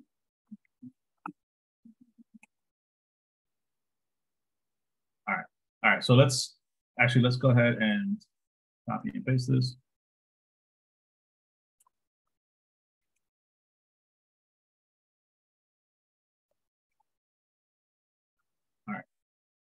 So we're gonna take five divided by two, and then we're gonna do integer division on it, and then we're gonna take five divided by two, and we're gonna do modular division on it. And then we're gonna see the differences of them. right? All right, perfect. This is perfect. So, so this is our uh, so so the single slash would be our regular division, right? If I take if I have a five dollar bill and my kids are like, hey, um, and I got five dollars, right? And I want to split it up between my kids. I would go get, I would make some change. I would get them two fifty and two fifty, right? That would be the most equitable division of those five dollars, right? Equally, that they would both get the exact amount, and that's where that's where our you know regular division comes in. And if I could spell, how do you spell division, guys? D I V I S I O N. Thank you. Yeah. So like that, I got it right now. Hopefully. All right, and then so that would be the most equitable. right? But sometimes we don't want to deal with decimals because, like, let's face it, decimals suck. So, like, let's say I just want, you know, the the the the closest whole number to to to that to to the as a quotient, right? Then we will use what we call integer division, and what it does is it takes it takes the last whole number that was able to divide the original uh, number and it'll repeat that. So the last whole number that can divide five is two, right? So we got back two for integer division. And then in modular division, we don't care about anything else. We just care about what's left over, right? So uh, when you divide five by two using mod mod division, you get you get the leftover of one. So you get the remainder. If I was to change this, right? So instead of five, let's do eight.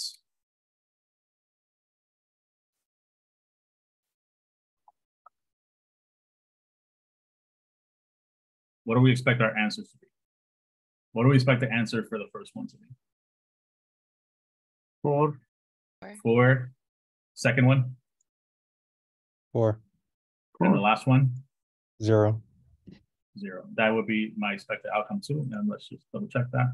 All right. So yeah, so in the first one, we got um we got back four, right? But notice, notice the what kind of data type is this that it returns back? It's your floating point. A floating point. So when you do regular division, you get back a floating point answer. When you do integer division, it's kind of in the name, right? So you get an integer back. And then the same thing when you do a uh, mod uh, a mod division, you'll get back a integer. So I Right. have a quick question. So Yes, sure. Like you mentioned earlier, like for any operation, we assign variable a value, right? But Yeah. here in this operation, you didn't assign like Oh yeah. So how um, this happened. I mean, like I'm just curious. so you so we use so variables we use them to store our information right especially when we want to um when we want to reuse that code for later so so that's that's where we so think about a variable as a container that holds something in it right? So the name so name is a container right? And it holds dw right? The, it holds these letters in it. And then num up here is another container and it holds this value.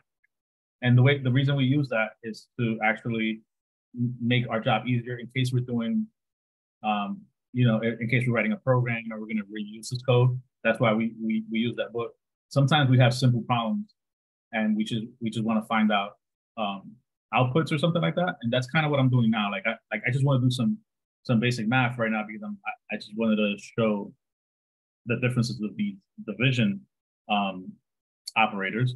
So I don't have to I, I can just do the math, right? Um, I, I, I could just tell the computer, hey, I'm going to give you some, I'm going to give you some input. It's going to be in in numbers, right? So remember that it's not in quotes. So the computer is seeing this exactly for what it is. It's numbers, and then these special characters mean something to the computer. So remember, like if I if I put if I put the that symbol in this in in this statement here, it's not it's not going to change anything for the computer because it's inside of the quotes, meaning that it's a string. But because there's no strings in the bottom, this this means t- so something totally different to the computer. It means, hey, take eight, divide it by two, and give me the remaining. So in, in short, is we use variables are very important. We do use it when we're writing longer uh, longer scripts and we want to reuse our code. But we at the same time we don't we don't only have to use variables. We can we can perform tasks without without variables. I don't if that does that answer your question. Yes, thank you. Yeah. Okay. Cool. All right. Yeah. So, um, again, this and my, by the way, this is much longer than, than the uh, the one I do for my class because my classes we usually only have you know an hour and a half, maybe two, to go over these things. But that's kind of like what operators are. I didn't talk over all of them.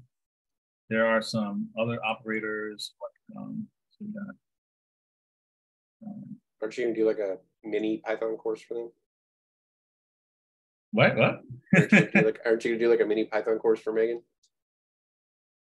Megan, like uh I think Giovanni's gonna do the little or together. um Giovanni's really good. You know, he works in, he works for Verizon as a Python as a developer. Oh, that's Web cool. I did not know that about Giovanni. Yeah, That's awesome. So so he's actually he's actually the goat.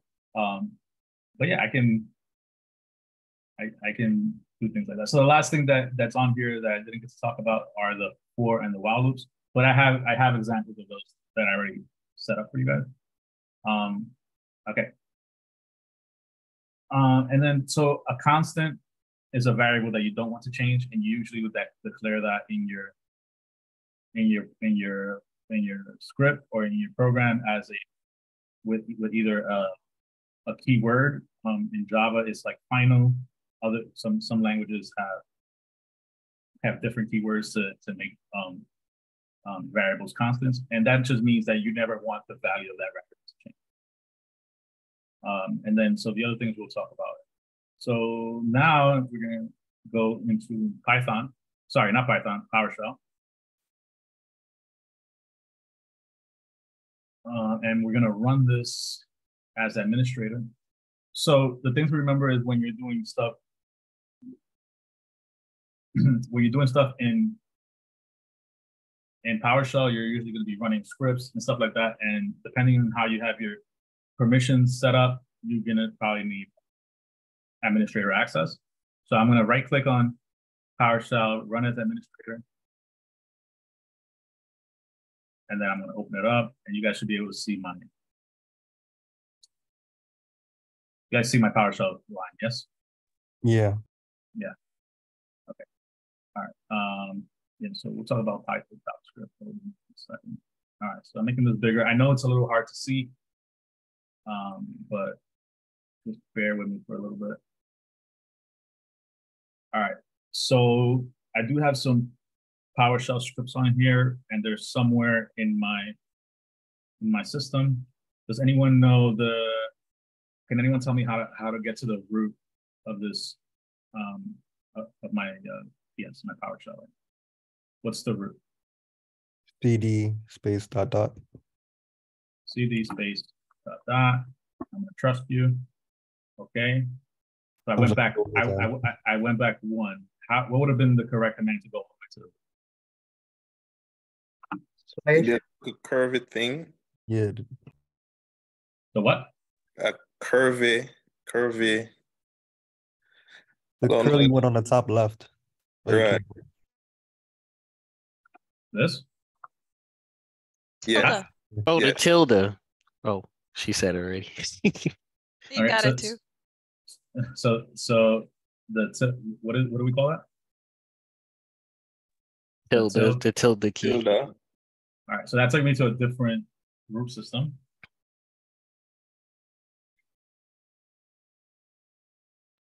On a Mac, I just press CD. But I don't think that works on Windows.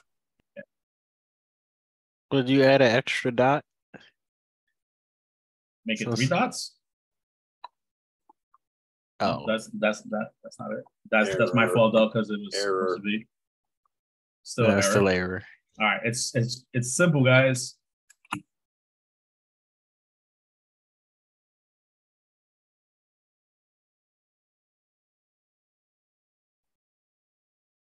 So it's the backslash. Or the forward. What do we call this? The forward slash or the backslash? What is that? That is the backslash. The backslash. Thank you. All right. So CD backslash will take you all the way to the root. Okay. Um, I do actually wanted to. I, I did want to be in users Dar- Darwin though, so that's pretty funny because that is where I want to go. So I want to go to users. Uh,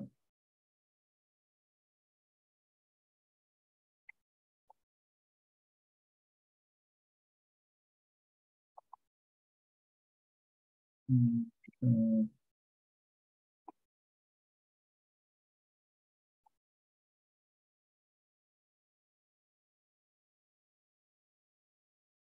What am I doing now? What is this called?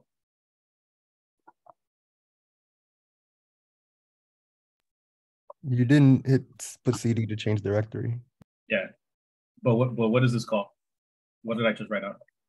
Absolute path or something like that. Yeah, so I wrote I wrote out I wrote, I wrote out the top, right? All right. So now um so now I'm in the directory that I want to be, um, but I forget what I got here. So how can I list the things that I have? dir. What's another way that I could do it? LS. All right, cool. All right, so we're here now. I kind of told you guys the extension for PowerShell. So how many PowerShell scripts do I have in this directory? Four? One, two, three, four. That is correct. I do have four. Can you please tell the class how you got those? I looked at the end, the extension dot PS1. So, and that .ps1 is the extension for PowerShell? Correct, right? Yes? Yes, good job. All right, awesome. Sorry, I asked a lot of questions. Um, so I, I, I like interacting, so um, I appreciate all you guys um, tagging along with it. So that's good. All right, so let's, um, So is, is this, uh, case sensitive? yes, it is. It is case sensitive. It's also space sensitive, white, like white spaces matter. And you also need to um, kind of like understand which command you're trying to. All right, so I have a I have a file here that opens up a web page. Which one do you guys think of it based on based on the titles?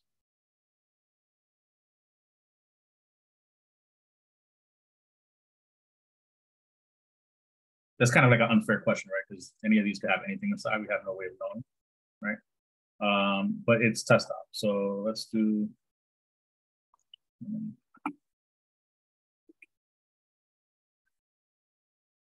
And I could be totally wrong, and this cannot be the command, but I think it is.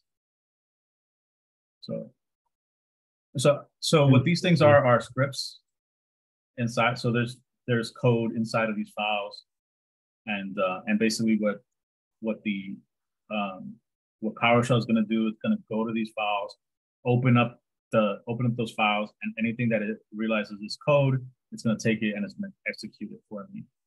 And so I messed this up, right? I think that's something that see. Out. Okay, that's a lie. All right, so test out doc. Nope, that's not what I want. What do I want at the end here? Yes. Yeah, thank you. Awesome.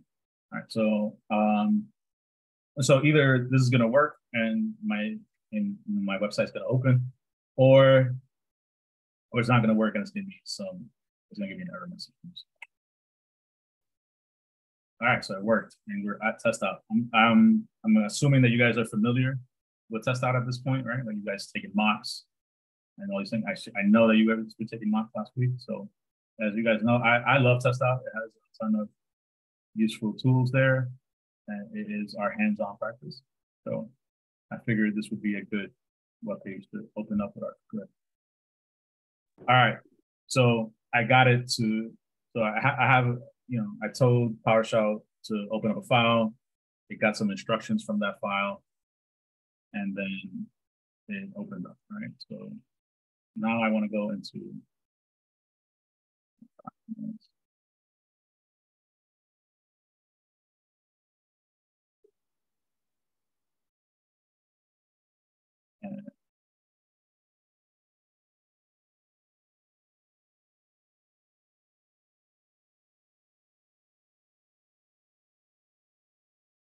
so this is all that my script read. These little things. So if I take this, copy it, and I run this directly onto PowerShell, what do you what do you guys think is going to happen?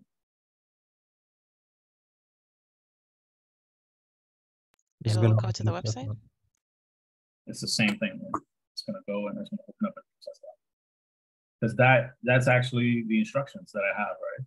So a script, like we said earlier, is a file that contains a certain amount of instructions for a computer or system to, to execute, right? And the the good thing about the scripts is that by by um, by telling our by making those files um, in, into their appropriate extensions, this automatically tells the operating system, hey, yeah, you can go and execute. It's an executable. So remember when I was talking about commandlets earlier, and we're going to see some of them. So this is a commandlet um, to run a an executable, and then you just got to type out the um, the I'm in I'm in the command line right now. I mean, in, I'm in the directory that I, that I want to be. So this will go and open that whatever file I'm in at that directory. So I want to open up um, check ping. So check ping is another script script file that I wrote. Not that I wrote, but that I'm that I'm gonna open up for you guys.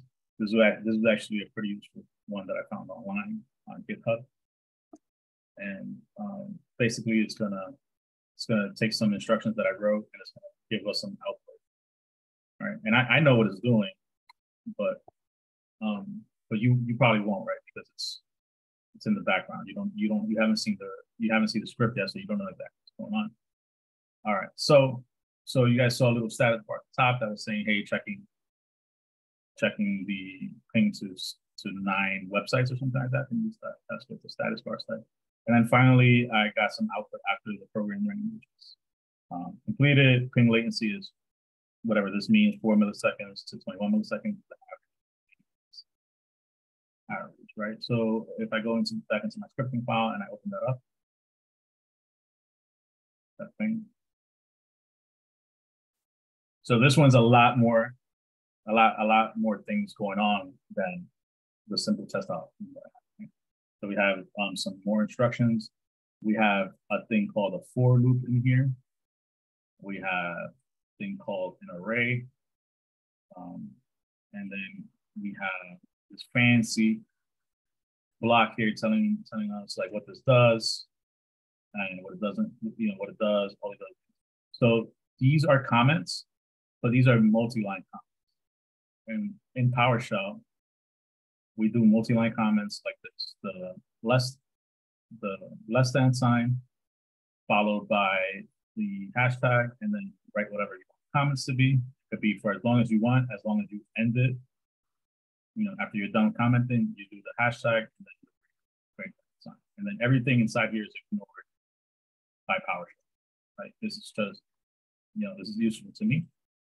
Right? So basically, the person who wrote this uh, script gave us some pretty cool things. Like they gave us a synopsis, a description, um, so uh, an example, and then the link to their to their. They know their authorship. But again, these are all comments, and actually, these are a little bit more sophisticated than just comments. These are called like documentation. So like the higher, you know, as you progress in your career, like you'll you start doing things like this, right? So like the the fact that he uh,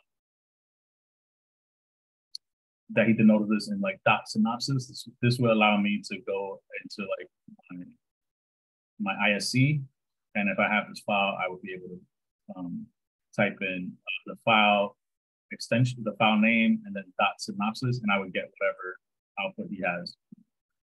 These are kind of like definitions for, for but again, these don't execute actually. These are just, just the information that he wrote.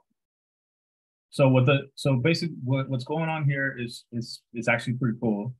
So the the the the person wanted a way to test connectivity to some popular websites, right? Um, so kind of like just checking, uh, you know, the ping, and then kind of like checking how how quick um, hosts are responding to these websites. So uh, th this person made a um, an array, right? An array of strings, right? Because remember, everything inside of double quotations is a string. So he made this array of strings, um, and he called it hosts.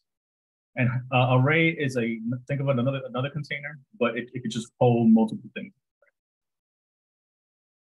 So he made some. He made this big container, and he has all these um, things in it. So he has Amazon.com. Um, they're all separated by a comma, right? So these are his parameters. Then he goes in and he and he does this thing called a try. So a try is like, um, it's exactly what it is, right? It's exactly what it sounds like. It's try to do something, right? Try to do everything inside of this block. So these curly braces, we we call them blocks because they contain blocks of code in them.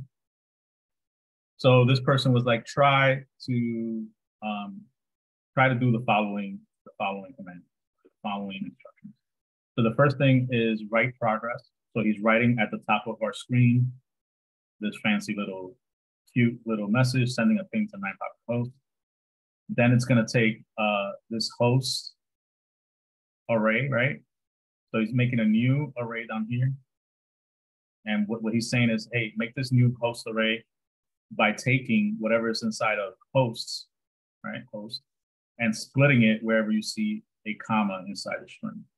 So he's gonna go into these, into this big array up here, and he's gonna take, uh, he's gonna take everything that is to the left of a, of a comma, and he's gonna add it to a new array called host array down here. So, so basically he's gonna get nine of them, right? So, um, and then ping. So ping is another variable. And what this does is test that connection from whatever the computer name is to the host array. And it'll go count minus one. So it'll go to, it'll, it'll go to the last one, right? And then after it pings that one, it'll, it'll drop that one off. Twitter, it'll drop that one off. Go live, go Google, all the way till it ends up back at and then what uh, what he's doing is for each of the pings, he wanted to see latency. So he's gonna he's gonna print the lowest. So in when we talk about latency, the lowest number will be the fastest, and then he's gonna so that would be min, and then he's gonna print the max. So he's gonna print the the, the one that took the longest, and then he's gonna take an average And he's basically just saying, hey, for average, take all the pings and then divide it by the by the total count. And then finally, he's gonna write, um, he's gonna write at the bottom what we saw, which was the min. So the ping latency is min, the max, and then the average. So um, this is kind of hard to see on, on, on notepad. But if I was to take this and open it in something like VSC. So VSC is a another um, I, IED or integrated development tool. Um, tool. All right, and it kind of like makes it a little easier to see.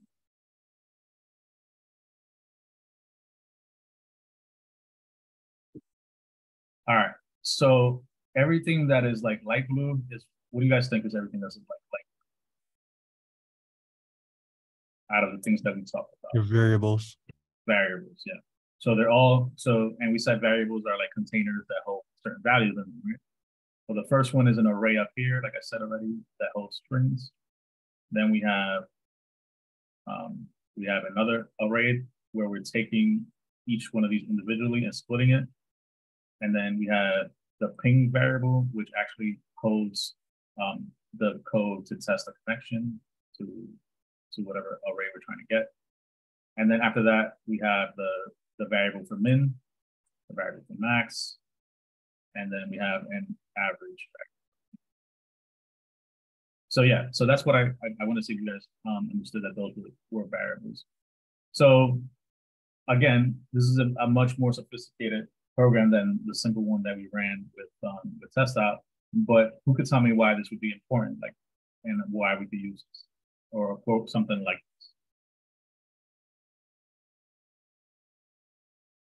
Why use ping? Or why use no, why use ID? like a uh, no why use a script like this? To check if you can connect to other websites?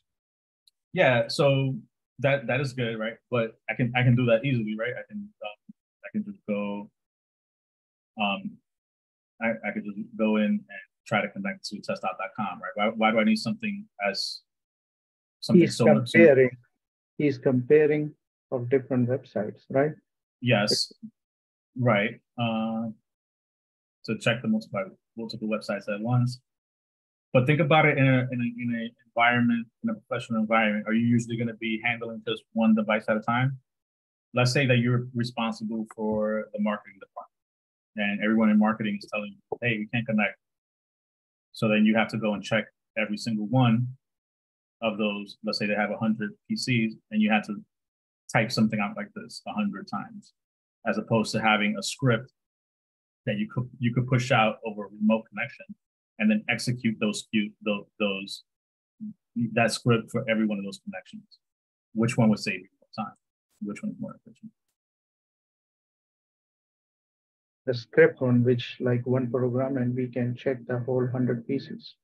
Yeah, right. So th- th- that's where the that, that's where the power comes in, right? The power is that you're able to take something, um, save it, and then use it in in a in a in a greater scope. It might be that it's only five computers. It might be that it's only one, right? But you need a so you have this this program that already works. So hopefully you tested it and, and you debugged it and everything.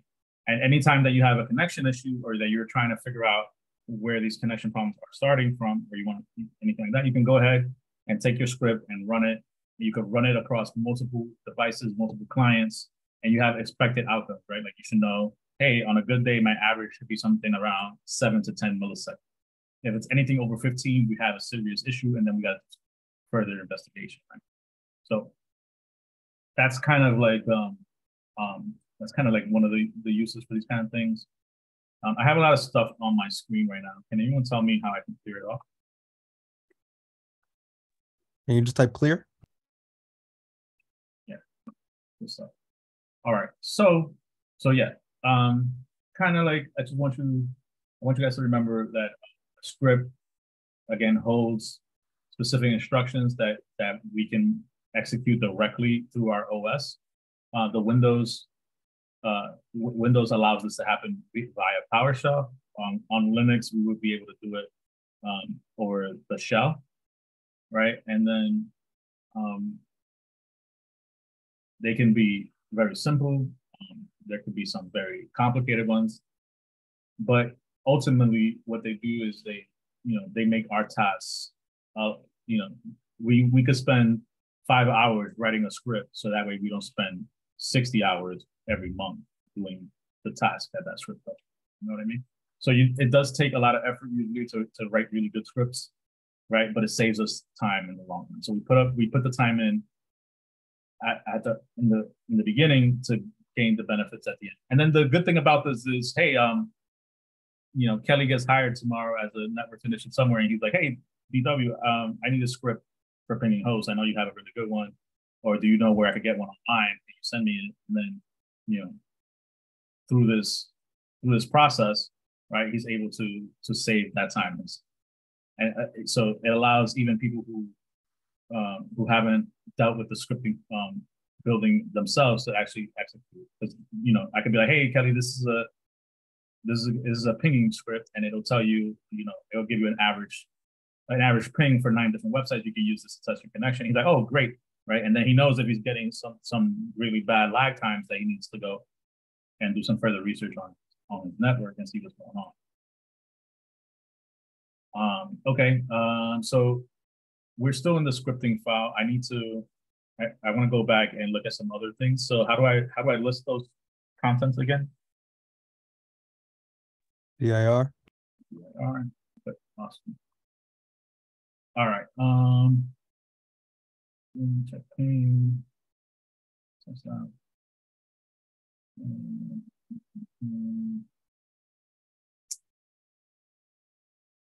Um, how do I list what's inside of a file? You guys remember that?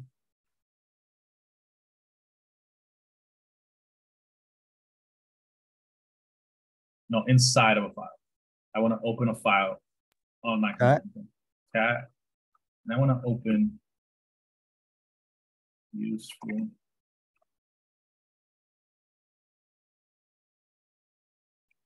Scripts.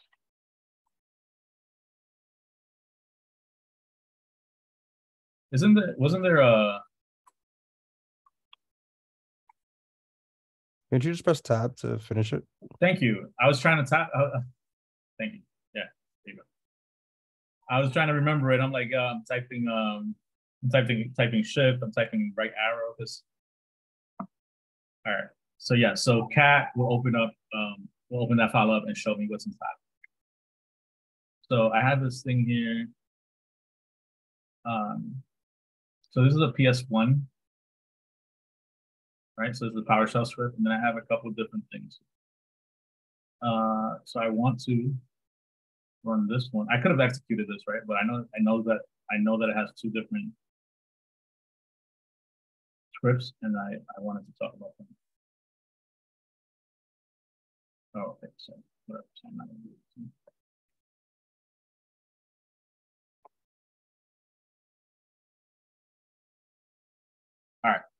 So the first script has um, some information about my BIOS. So you guys remember your BIOS? It's kind of like it's it's firmware, meaning it's combination of both hardware and software. And um, it's kind of like if you if you destroy your BIOS, you destroy your motherboard, you kind of what motherboard would be really expensive. So we're always careful when we're updating our BIOS. But um, furthermore than that, it kind of of a bad day.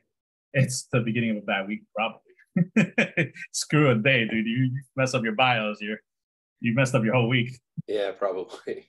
Uh, yeah. So, um, but BIOS tend to be like manufacturer specific. Sometimes we don't know. Like I had no idea before I did this um, uh, lesson that the actual manufacturer of my BIOS is called American Megatrends. Like, why would I know that? Right. But like in, in case you're working in an environment where you have like 15 different manufacturers, like you might have some Dell computers, you might have some HP computers, you might have some Apple computers, you might have some some Google Google Chromes, I don't know, things like this, right? Uh, uh, well, we're talking about power cells, so you might have some surfaces or, or things like that. You, you want to check what BIOS you're, you're working on because uh, you want to flash your BIOS for whatever reason. You want to make sure that you know that you know what you're doing. So you want some information. This is a script that you can use for that, and it basically tells you some, you know, you know the the actual facts about your BIOS, like your serial number, its name, and the current version that you're all right, and then the second script just gives me um, some more information about my system. Like it's telling me um, my manufacturer, it's telling me the model of my system, the name of it, uh, who owns it, and then finally my my total my total physical number available. Um, so yeah, so these are like, and you know, these are easily um, found online. Like you can just go in and type into Google like simple um, simple, like useful scripts, right? And then you can go ahead and see what they do, see if it's something you want to try out, copy it. Um, so yeah, um,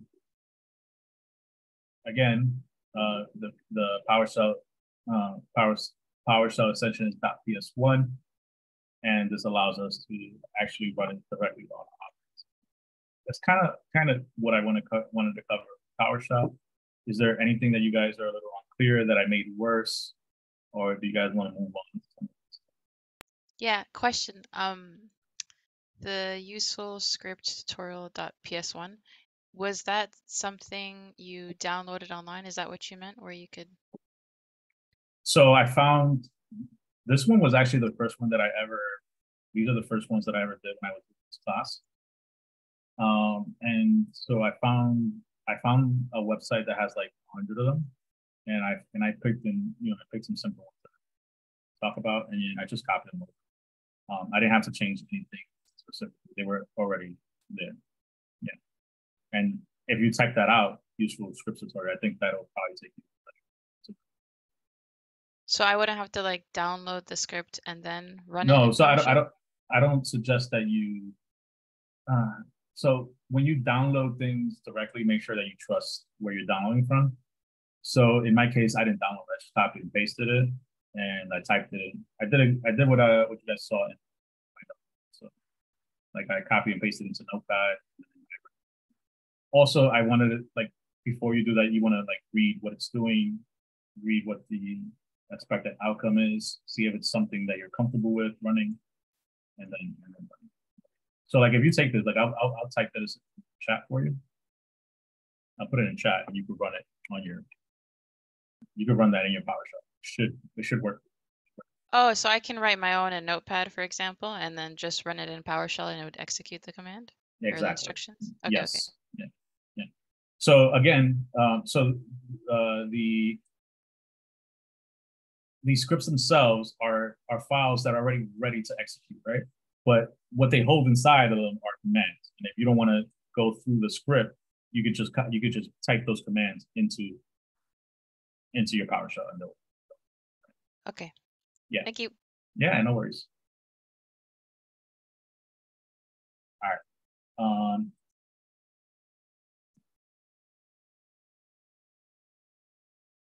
so like,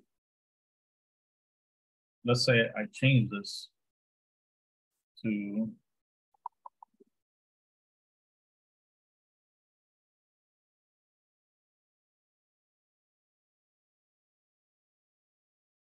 like like this is something I just copy and pasted, but I change I changed this, you know, to go to somewhere else, and then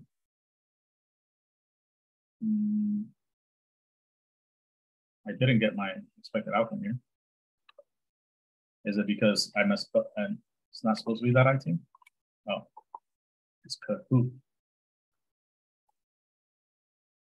So I don't know if Kelly ever told you about me, but um, I was like, I was very into Kahoot in OR. Um, Yes. Unfortunately, Alright. with this group, we can't use it. It's too large. how many? How many you have here? Uh, 40. They, they max us out at 20. Uh, at what? 20. Oh, the spelling, you need the H. Yeah. I also need that. All right. yeah. All right, I'm messing, I'm messing something up here. But I have used your your pull method. I think it's because the you're using a double bracket on the end and a single bracket on the beginning. No, it's I'm I'm missing that. Yeah. Thank you. So that's uh. Let's go back to the PowerShell script. All right. So yeah. So this argument. So uh, so the argument list is you're basically saying, hey, um, all right. So I didn't actually walk you guys through what this is doing, right? So um, I'm telling PowerShell or telling telling the the operating system, hey, go and start a process, and I want you to start this process at this argument. right? these are the arguments. So the argument would be uh, file path, and then I gave it a file path, right? And file path is the path for the Chrome executable file. Right. So I was like, go find this executable file. Here's its address. Right. Once you find that, I gave it some more argument. right? And then these are always encased in single quotes. But since I'm starting a full screen for a website, then I have to enclose that website. My eyesight is pretty bad. You can see that. And then once you run that, uh, if I run it again, yeah. So, um, so yeah, Kahoot messes it out at 20 minutes. Too much. But those were fun, man. Got pretty competitive. Yes. All right. So, We so use the pull the pull method that you created oh, the poll method. Yeah. with the multi-select, multi-choice. All right. Um, there's a new thing called Slido. Giovanni uses that a lot. Slido. All right. So uh, finally, so so JavaScript, like I told you guys earlier, um, uses the extension .js. We I kind of talked about this already. It's used heavily in, in web applications. The most popular scripting language there is. Um, and then um, so there's a, there's one specifically for Mac OS called uh, JavaScript for, auto, for automation, the JXA. Still uses the same kind of extension. And then Python. And then Python uh, .py um, is extremely versatile. Um, and but it does need to be interpreted, like I told you earlier. So you, you need to, if you're going to run it on your system, you do need a Python interpreter. Usually Windows comes with one already. If it doesn't, if you don't have one, you can download one off of, um, off of Python themselves. Usually, if you go into like search bar and you don't have it, because it's so highly used and it's um and it's, it's such in high demand, Windows will be like, hey, do you want download? And you'll go and down, download. And that There's that, some free. There's several free options. Some are you know more user friendly than others. So you just got to kind of find the one that fits for you. Yeah, yeah. Um, well, so there are several IDEs, but Python itself, the underlying interpreter, goes back to Python. So IDEs are like the the, the fancy little. Um, so like uh, so this is the the visual the virtual the VS Studio ones, right? This is Microsoft uh, Microsoft one. And kind of like I could write on this. I could write Python. I could write HTML. I could write Java. I could write C sharp. Like they made this really awesome platform where you could go and write all your different languages and you could like custom it, cu- customize it to for all the different things. But then I have a different called Python. I think I put you on this one, Kelly. I don't know if you use it. And Yeah, I think it's the one you like you. Uh, and, yeah, and this is the one I use to learn Py- Python because it was really like, user friendly. Like Kelly's saying, it like it corrects things for me, and it was really, really intuitive to use. Um, that's gonna take a while to load because it's been a while. Uh, so yeah, so like you guys see, I have a lot of files because, um, yeah, I've been practicing Python for a little bit over a year now, so I have different things on here, a lot of errors. These are like these are like some of my first homeworks that are here. But yeah, so um, again, it's a thing of how comfortable you are with one. So like, um, the one thing that if, if you're new to this, right, and you're like thinking about doing something like learning Python, like that, don't. It's easy to get frustrated, especially once you start getting errors and, and stuff. But then once you get the once you start getting the hang of it and things start to run, you know, like there's like there's kind of like no feeling like it. It's almost um, it's kind of like a high almost like once you like you spend a week working on a program and, and it runs and it does everything you need it to do. It's it's a pretty it's a pretty cool feeling. So definitely um expect some frustration, but don't be deterred. How uh how are you doing with Python? Um, I had to take a little bit of a break just because of everything going on, but I am uh, actually getting back into it very soon. I've been doing like a lot of study sessions around uh, cybersecurity analysis right now, just trying to re-up that, and then I'm Alright. back onto Python. So you are you gonna do the um the Coursera cybersecurity? Or you're like, nah, that's not me. I think honestly, it, I- I mean, I may look at it and see if it can offer anything new, but I'm honestly going to be diving into the TestOut cybersecurity ones because it looks like they gave you some hands-on stuff in labs and that'll look pretty cool. All right, cool. Because through CUNY, um, I'll have to show you this, but like the list of stuff that we have access to and TestOut is awesome. Wait, we still have access to CUNY? Uh, no, I'm doing the uh, Oh, evening- you're doing the the night shift one. Yeah, how's Yeah. that work? It's it's rough without TAs. Oh, okay. All right, we'll, we'll, we'll, we'll catch up on about that. Yeah, no worries. You, what time do you guys do you get on break? Um, well, we're gonna be doing lunch here in a little bit, but uh, it's Fridays. Typically Fridays we try to cut out early, so we skip lunch a little bit, and we just got like three labs to go over after we're done here. All right, we got like three slides. Yeah, go ahead and crush it out. Um, so, all right, so this, remember when Kelly's telling you that the extensions are important? This is, so for the CompTIA exam, this is kind of like their, uh, this is like their holy grail. They want you to know these extensions, they want you to know how you, um, how you comment in them. And, and then basically they want you to know what a variable is, what a, what a loop is, what a, a if else. Those are what, that's what they want you to know. They want you to know crazy.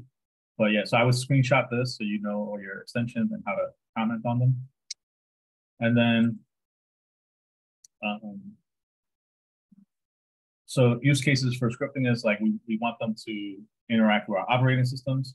So kind of like how I ran those those scripts straight from PowerShell and those should be able to interface with them. That's kind of what we want scripts to do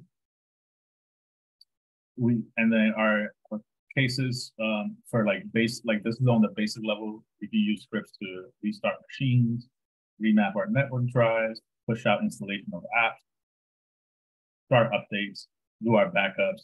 Like you can have a script that does all your backups for you, and all you gotta do is run the script at the end of the day, then at the end of the week, at the end of the month, and so right. And then again, after they're done, you would go back and just test them, right? But you, know, you don't have to go out and type out those commands every single time. You have a script that you execute. And then um, another basic uh, tool would be for gathering data. So, um, you know, in our field, data is king, and sometimes we want to like look at our logs, look for specific things in our logs, and we could write scripts, right, that that do that. So, uh, those are um, those are some of the use cases for it. And then um, again, like everything, like any sword, right? Um, it can be used for protection, and it could be used for, you know, non-fish, non-vicious reasons. And uh, along with that, um, you know, you could use a hammer to hammer a nail, but if you're not paying attention when you're hammering something, you could probably break your hand at the same time, right? So we want to be careful when we're using scripts we want to be th- aware of things like malware risks because sometimes, like if we're using core uh, and, uh, code that we got online or something like that, there might be some modifications on there that we're not um, we're not exposed to, and because of this, we like increase our surface of attack. So for the for the most cases, uh, our our our systems will have things like uh, settings where we can't run scripts right? And we might need either admin access or we might have to do things in our firewall to allow us to run them. And you know, because we're humans and we tend to like forget about things, we might forget to go back and change those firewall configurations. We might disable things and forget to back them, you know, put them back to the way they were. And you know, those things could um, create potential security risks for us. And then the last thing is um, a browser or system crash due to mishandling of resources. And this is uh, specifically for like if you're making too many logs, you can crash your system because you're just making a ton of data. And you're slowing, so you slow down your RAM, you might slow down your, your drive performance. And then if you have um, careless loops, um, careless loops and tend to um, lead to infinite loops or endless loops. And basically, when this happens, a program just keeps executing forever. And those, for 99.9% of the time, we don't want that to happen. There are some very like niche cases where you do an endless loop, but for the most part, you don't want this happening. What happens is all the resources that are needed to run that program always going to be all those, all those resources will be locked up indefinitely. So you'd set an instance like attempt nine times, and then if not successful, do something else. Yeah. So and then and then the last thing is a faulty use of API, and that means that you're uh, if you're using um, an API, um, and it, it's either not integrating properly, issues with the API itself could cause system crashes and stuff. Um, so the last things that I wanted to talk about are we're talking about Python again. So um, are we still in the scripting? Um, we are. So Python is extremely versatile. It's um, you can use it across both Windows and uh, and and it's and for that reason, we can also use it for online applications, data science, cybersecurity, IT automation, machine learning, um, game development. Like it's just immensely, immensely versatile, and um, and uh, IT IT professionals use it a lot. But um, so like I said, it interfaces well with both PowerShell and and uh, and Linux, and we we can see examples of that um, right here from my PowerShell command. Like I want to execute this Cyber Ninja um, file. So I'm gonna give um, PowerShell the command py, which will let it know that I want to open up. Um, I want to run a, a power a power uh, a Python file, and then I'm gonna type in the name of the file. If I can spell today, that then I'm gonna run that. All right. So the same thing that happened earlier with the with the PS1 uh, files, with the PowerShell files. I told I told I told Windows, hey, um, this next this next file that we're going to open is going to be a Python executable file, and this is the name of it. I want you to go ahead and run that program. So, so PowerShell was like, yeah, sure, I can do that. I got you. The I went ahead and ran my code, and this is the output that it gave me.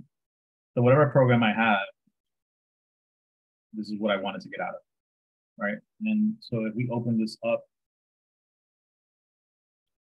uh, so I'm gonna open it up here, but it's gonna be a lot of output, but should be okay.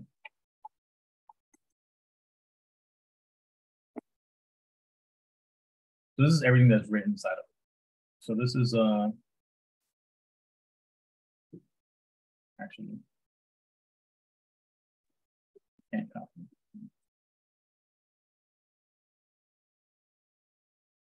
Okay.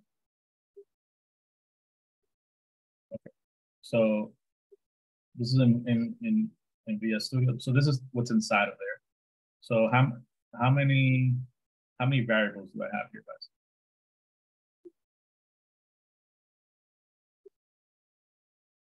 You got six. I got six. What's the data type of name? And guys, please feel free to uh, type in the chat. I want as many of you to participate as possible. Yeah, so go ahead. I, I heard you starting to say it, right? You Yeah, it's a string. String. All right. Someone else. What's the data type for Go?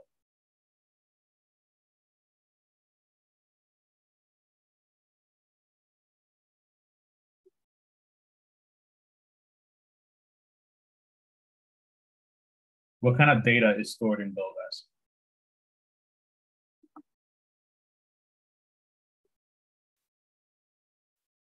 Is it also not a data string? It's a string, yeah. String. Yes, correct. All right, message.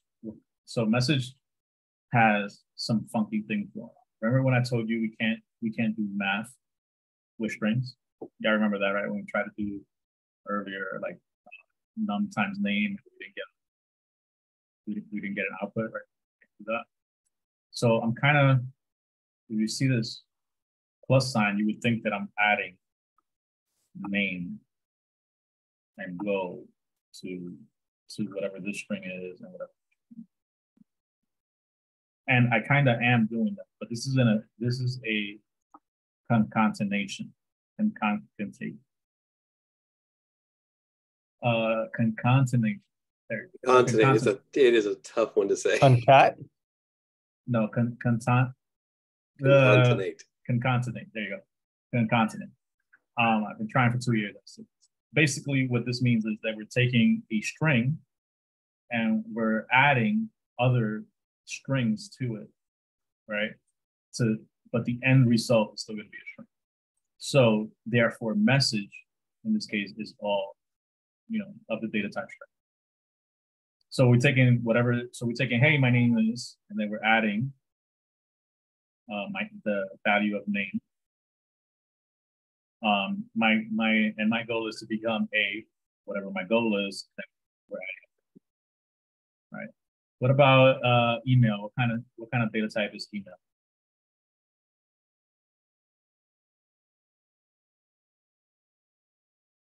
Valuable. What's the Variable? Va- So email is the variable. but What kind of data type? What kind of data is this inside? String. String. Right. What about row?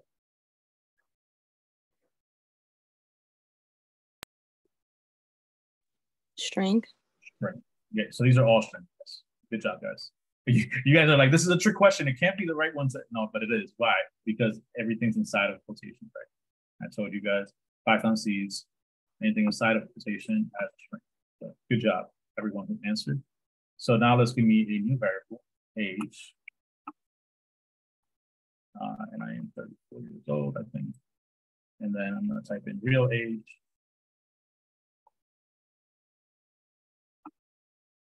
How you say how you spell real?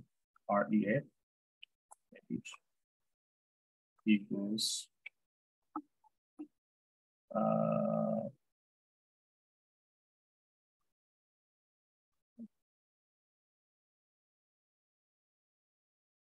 so what is the data type of age now, guys? The top one here. 34. Integer. Integer, yes. And then what would be the data type of Float. float? Yes. Awesome. Great. All right. So we have some of our things here. And then let's make a new a new variable. It's going to be lesson, and we're going to assign it the value.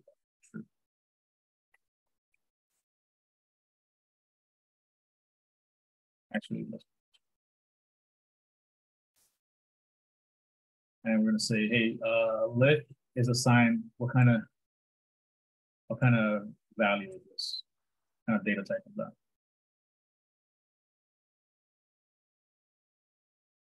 Boolean.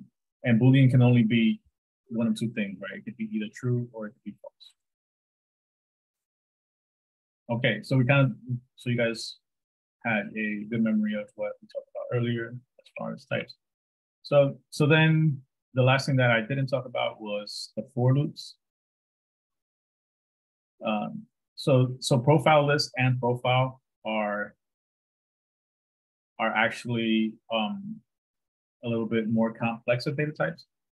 So a list is another data type, and basically it holds a list of elements. In my case, it happens to be these these variables up here.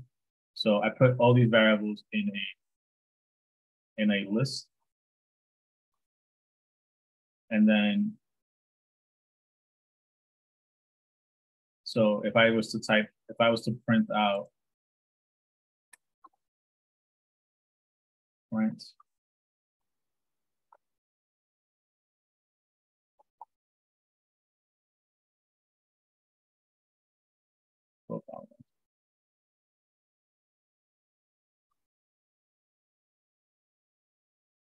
So if um, a pro tip, if you're like ever coding yourself and you want to quickly comment some stuff out, just highlight whatever you're trying to comment and then control forward slash, and you will be able to comment that block out. That's kind of like what I did, control forward slash, and you can uncomment the same way and then comment. And that way, and this is universal across um, most languages. So if you do this, it'll, it'll, you don't have to worry about, because you know, sometimes you'll forget depending on the language that you're writing. So that's kind of like a nice, quick um, pro tip there. Okay, so I want to, I want to, I want to print my profile list. So what do you guys think is going to print?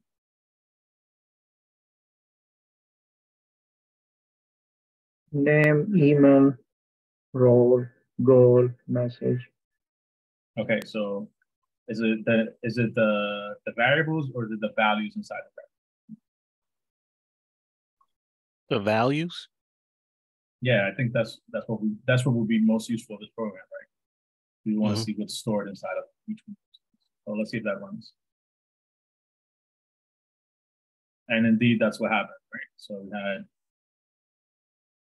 So this is our uh, this is our list, and the way that you know that it's a list is Python's going to put put it all inside of um, square brackets, letting you know, hey, this is a list, and then every element is going to be separated by by commas, and we know that is a string because it's, inside of the quotations. So the first one is a string Darwin Gomez, the second one is a string my email, the second one is pro, and you know, that's kind of what a what a list is. Um, we could do the same thing with a num list, like let's say let's call this num list, and that's uh, all right. So someone give me a number. Just come on. Five. Five. Another number, please, guys. 27. 27. Another one. Seventeen.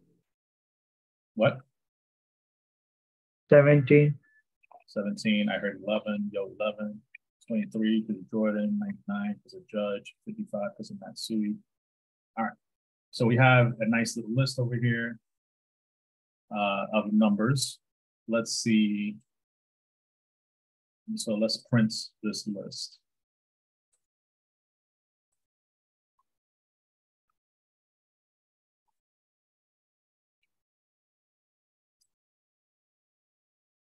List.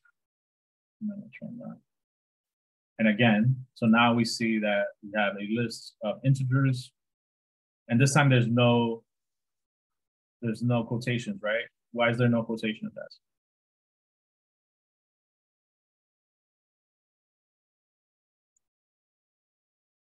Because they are It's not a integers. Exactly, right. So again, strings are always inside of, of quotations. The other data types are not. Very, very good job. All right, so, and then we know these are integers because there's no little, there's no point, right? So you guys think I could store floats? Twenty-two point five. One hundred point sixty, fifty-seven. And that's going down. So indeed, a list could hold elements of different data types. So, and let's let's further um, let's further uh. So uh, let's see if we could even add strings on there. So yeah, so I think of a list as a container that holds elements. The elements elements refers to the things inside of the list right? Um, and then it can hold elements of different types, meaning different data types. So in, in as you guys can see here, um, we have one of each. We have uh, integer, we have a floating point, and we have a string. So, so let's become very powerful for things for things uh, loops or just storing data, stuff like that. Pretty cool, some pretty cool stuff can be done.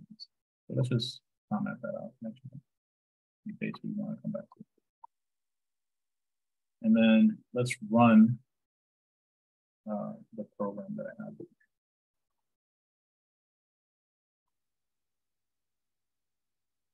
So, so this program kind of is going to make use of a for loop. So does anyone, can anyone think what a for loop might be? Or if you know what it is, can you come off mute and tell us? Yeah, uh, for loop iterates through an array or any set of data that you have until the end. Until the end, until for however long you say you want it to, right? Yes. And uh, so, so here I, uh, so profile is different from profile list. And if you look at it, it's also written differently. So this is what we call squarely brackets. And this is a whole different data type. It's called a dictionary in Python. And dictionaries are a mapping kind of um, data data type. Basically, use it to specifically say, hey, um, this this is going to be in such and such place in memory, or some kind. That's kind of like the function. It's kind of like it's way beyond the scope for anything that you would need in the CompTIA, but um, I did have a nice little loop here that I want to show you guys.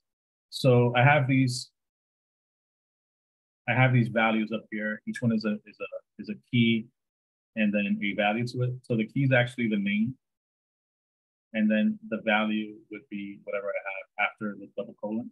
So I'm telling my for loop for any key, for anything in blue up here, I want you to go ahead um, and print the key and then um, add a little nice little bit of string just to dif differentiate and then print the value of it. So, and then, so then prints um, the actual value to whatever I have stored up here. So let's go ahead and run this. Um, and I don't want, I don't want this to print.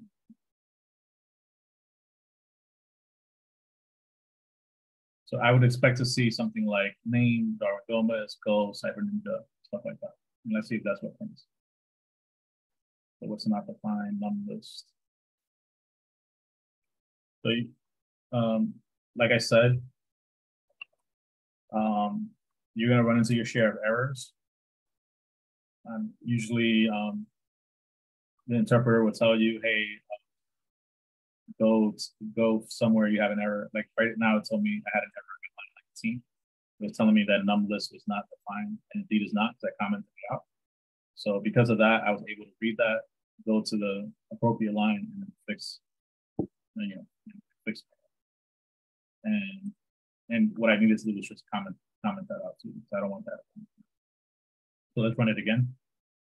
Okay, so so what happened was um, I have four. So I had four keys, right? Name, role, email, and go, and I wanted those printed out with their values next. And indeed, that's what happened. Um, I didn't get any more than four because why didn't I get any more than four?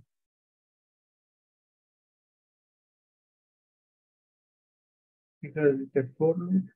Because they were specifically for in it. So it, it it's it's like Andrew said, it iterated.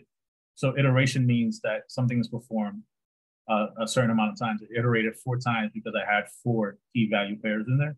So that if I was to add another one, so like let's let's write uh, age, right? Well, I got to put that inside of there. So let's write age, and then uh, have to do that, and then age. And if I was to do this now, what do you guys expect to print? How many how many different how many lines do you expect instead of four? Five. Five. Yes, that would be correct. It's not because now my now my data structure, my dictionary holds five key value pairs. So you would expect five lines. So let's see. And indeed I did, I got five. So yeah. Um, so for loops will iterate um, for as long as they are in range of whatever it is that you're trying to. So there is another file here.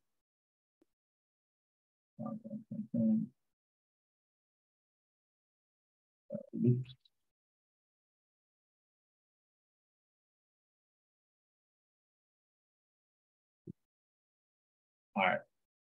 And this one is pretty cool. Uh, so this one is kind of, uh, let's, let's go ahead and clear our output. It's kind of, um,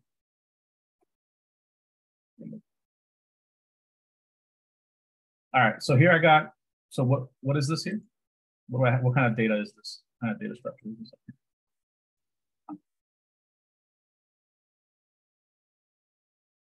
A list? Yes, it's a list. It's kind of it, it's it's kind of in the name of the variable. So, but yeah, yeah. So it's a list, right? It holds a certain amount of elements inside of square brackets. So yeah, that's what we would define as a list in Python. And then the second one, what is it?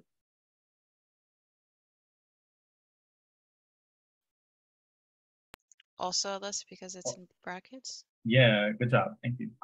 And they hold integers, right? They, they we can all agree that they hold integers. So um, okay, so I have some things that I want to comment out for right now. How do I do that? And here was my pro tip that I told you guys. Control backslash or? Back. Control fo- forward slash, control forward slash. Okay. Yes. Good job. So yeah, I, I commented all that stuff out. Um, so I have a I have some commands here, just print list and then print list two, right? So I just expect to see these in my console down here.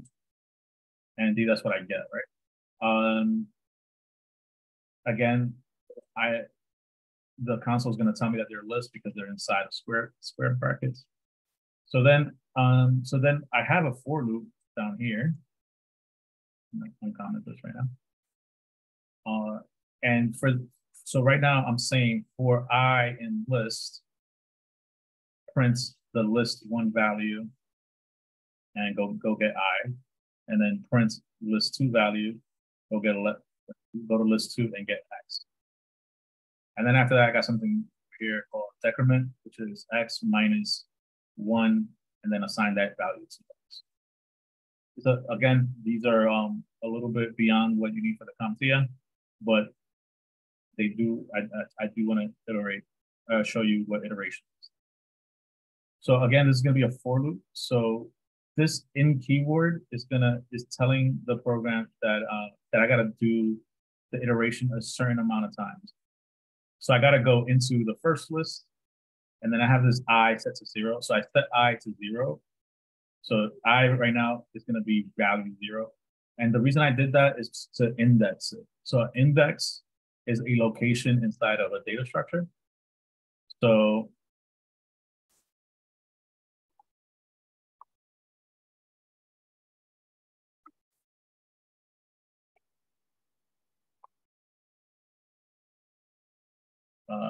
so the index for the first index is always going to be zero, and then it will go up after that for each element.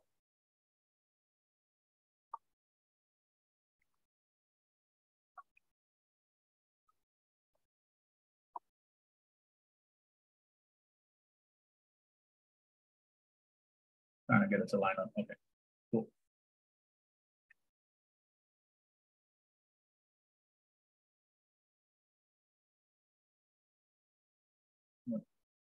On it.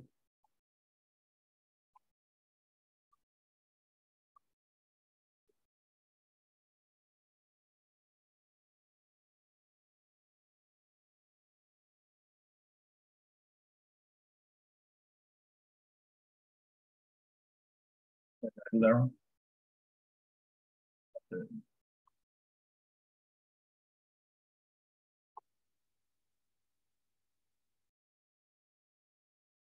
All right. So who could tell me what the value in list one would be at index three? Based on what I told you.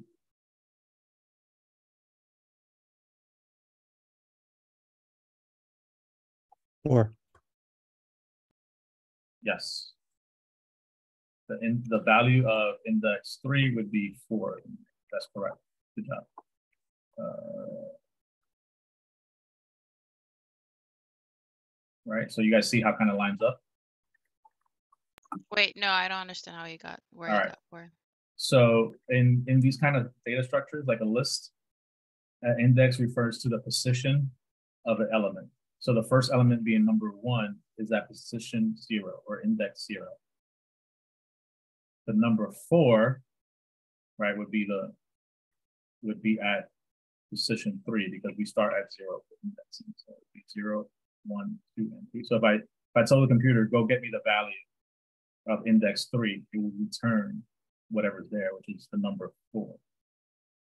And then it's it kind of it's kind of a little bit more intuitive in the second list, right? Like because there are a little more. So Think about it. Think about it like when we count in binary, they can they consider zero a number in the indexing process. So zero takes up a spot. And so if we're asking for the third, we still have to go zero, one, two, three. correct. Um, and then so so in here, what would be the value of index four? Five hundred. 500. All right, awesome. Okay, so so then I set these indexes down here to zero, i equals zero and x equals four. And then I'm telling my loop that to go, you know, for every i in loop in, in the list one, go and print its value and then go to list two and print out the value of x. Right? And I set x as four. And then after that, I'm gonna tell the computer to take whatever x is and subtract one from it. Right? So let's let's run this program and kind of see what this what this looks like. All right, so the first the first iteration or the first run through the loop, list one is going to be a value of one, right? It's going to be the first time. And list two is going to give me the last the last one because I told it to go to value four and print out that. So I got 500, right? And then now in list, so that was the first iteration. So then we we we go to the second iteration, and now the value is two. So we're at value two, right? And we want to print um, x minus one, which would be three. And here, the value of three is 400 and so forth. So the third iteration. So the first list is increasing in value. And then the second one, I'm decreasing the index, right? So I'm getting, I'm increasing the index of the first one while decreasing the, the value, uh, the values of the second. And that's kind of like what a for, loop would be. And then so the for loop ends once we reach the end of list one, which would be um, five. And indeed, we see that after five, we have no more. We have nothing else, right? Um, does it, so I'm decreasing. Um, if I wanted this to look a little different, like if I wanted this to iterate uh, from 100 all the way to 500, there's only two characters in the whole code that I would have to change. And um, before I before I give you guys the answer, does anyone want to take a, a crack at that? At, like which two characters I would change to have it um, have this iterate from 100 to 500 in increase. Plus. Plus where? Right here, where the where the minus is at. So like this. That would be correct for one part of it. So there's one more character that I need to change. Change the four to zero. Yeah, it's the four to zero. That was very astute. So now I've said that x starts at zero, and I want x to increase every time that the loop iterates, right? So let's go ahead and run that. And indeed, we, we got a totally new function for this loop by changing two characters. Right? But that's because we have a little bit of understanding of the index of, the, of, how we index um, these lists. I, which is the index for the first list, and X, our second list. And we're basically saying um, every time that I increases, also increase X, and then put me the value of I, which is how we get 1, 2, 3, 4, 5, 100, 200, And so if I wanted to do it the other way, like I wanted to start from, from 4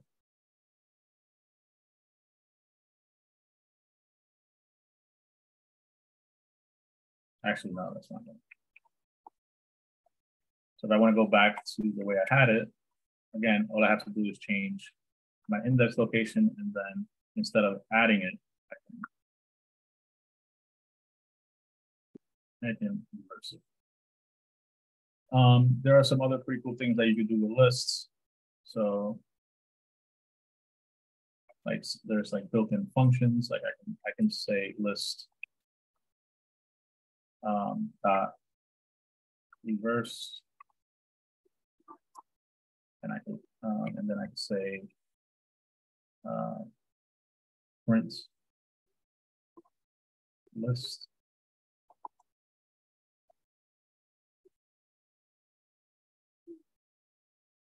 and let's print it the first time. So we're gonna print, we're, we're gonna print list one, then we're gonna reverse it, and then we'll print it again. And this is a, this is some, you know, this is just a built-in function of someone who coded Python a long time ago, and they, they put this into, into the list. So what happened was we, we had the original list, which is one, two, three, four, five. Then I told Python, hey, go to list and just reverse, reverse those, those elements. And then finally, after that, I printed it. Right, so I, pr- I printed that list and now that list is, in itself is changed. So like if I was to do any, so if I was to take this, cut, and paste it down here.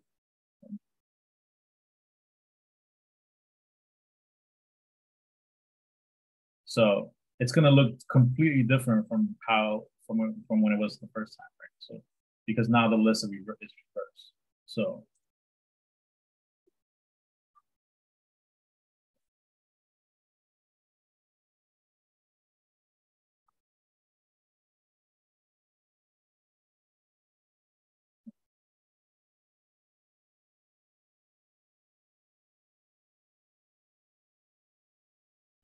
Okay, so it used to be one, two, three, four, five, right? But then I reversed it. Right, so now because I have this little bit of code here with reverse, the entire list looks different. And so when I iterate through this program this time, I actually, you know, five is now at position where one is now at position. So that's kind of like the power of the reverse, and um, you can do that. Um, so a lot, so a lot of these like functions and uh, and data types have nice little methods that we can. So that's what this is called. This uh, this re reverse called a method or a function. I think it's called a function in Python. Um, and basically, it's it has like some built-in functionality. So pretty cool. Um, yeah, that kind of like kind of what I wanted to show you about for the for loops. They will iterate for as long as um as there's elements in whatever it is they're trying to iterate through. Um, and then the last one is the while loop. So let's go ahead and comment this out.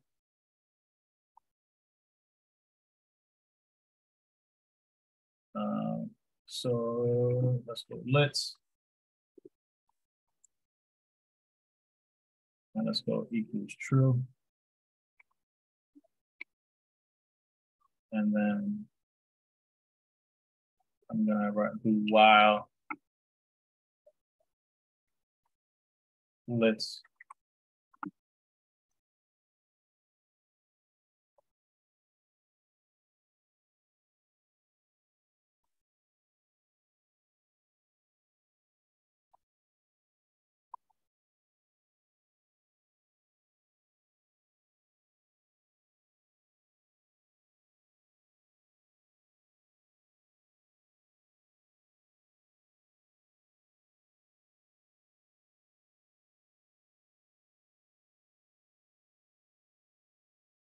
So I made a mistake here. So whenever you're doing a while, uh, whenever you're doing like a conditional statement, you need to end it in a double colon in Python. Uh, so kind of like the uh, the syntax. That's the you. That's the beauty of having a like uh, editor, something like VS Code or PyCharm. It'll highlight that for you, kind of like spell check does in Word. Like if I was doing this on Notepad, I wouldn't know until I try to run it. Get it.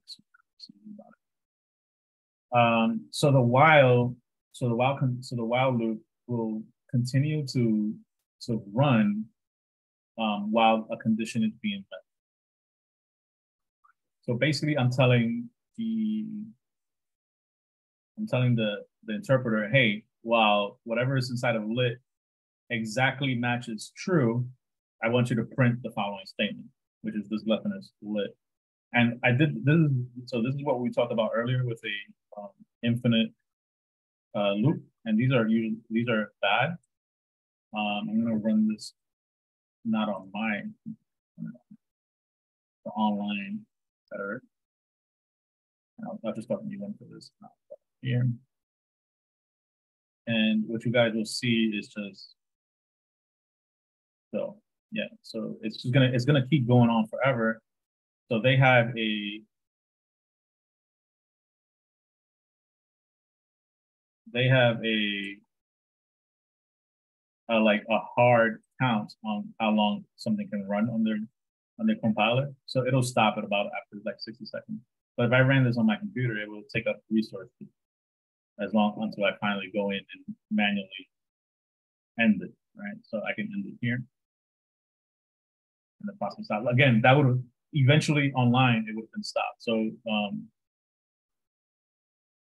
and um, but this is bad, like we said earlier, what happens is that you hold up your resources definitely until you go ahead and actually fix it out.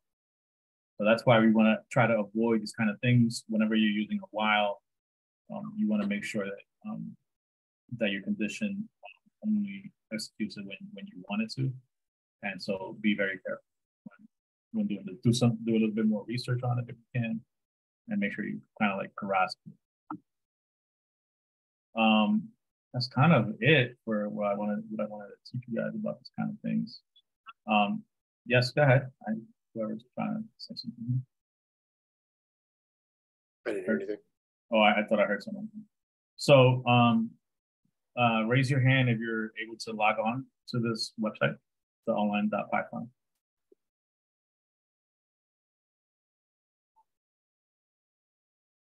No one? Not a single person? All right, let me copy and paste it in. I want all of you guys to get on, please, if you can. oh, that's not what I wanted to put in there.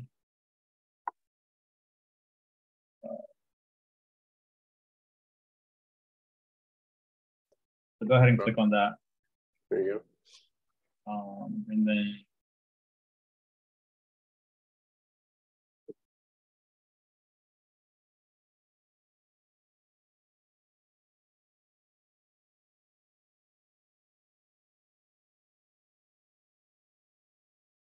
Okay. Um, that's not what I wanted. Oh, I saved it. That's kind of the problem sometimes with um,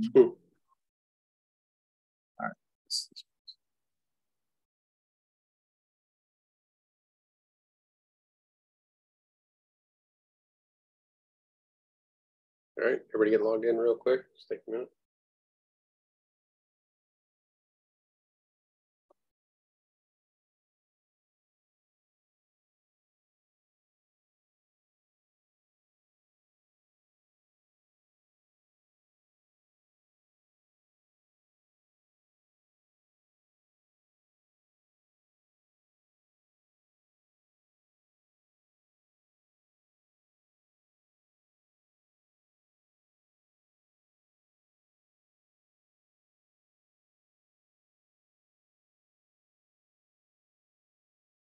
Are we just clicking on the link?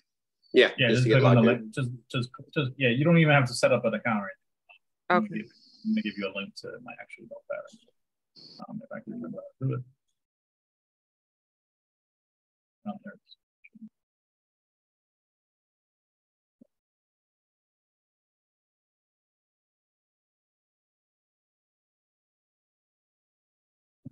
So, and then copy this, or just click on that, or you know, should you click on it, and then you should get access to everything that I have on this.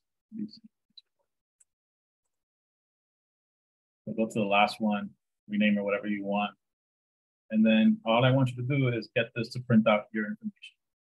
And then once you've done that, we are you're done.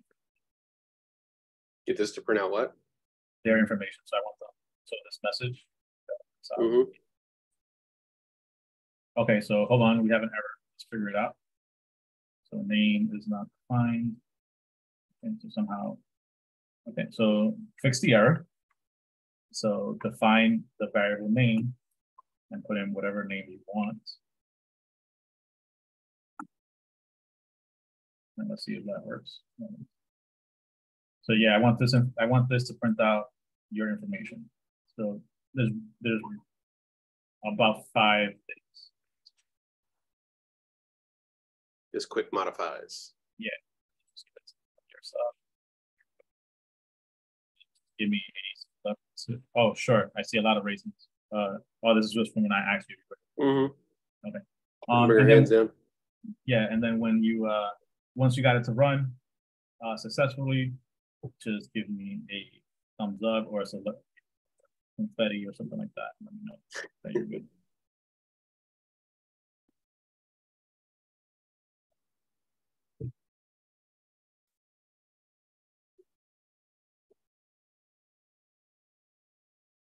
Mhm.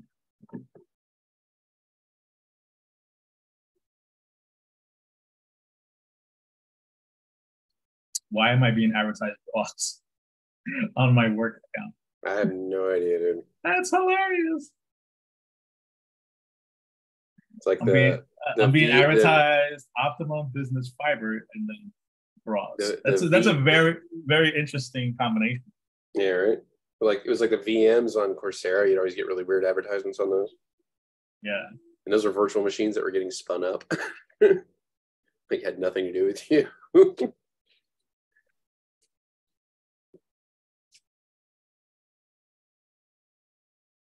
So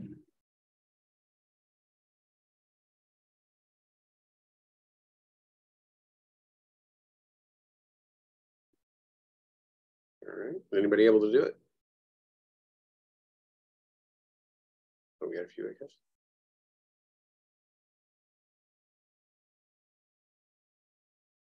mall and Andrew, you were, you were able to get it done?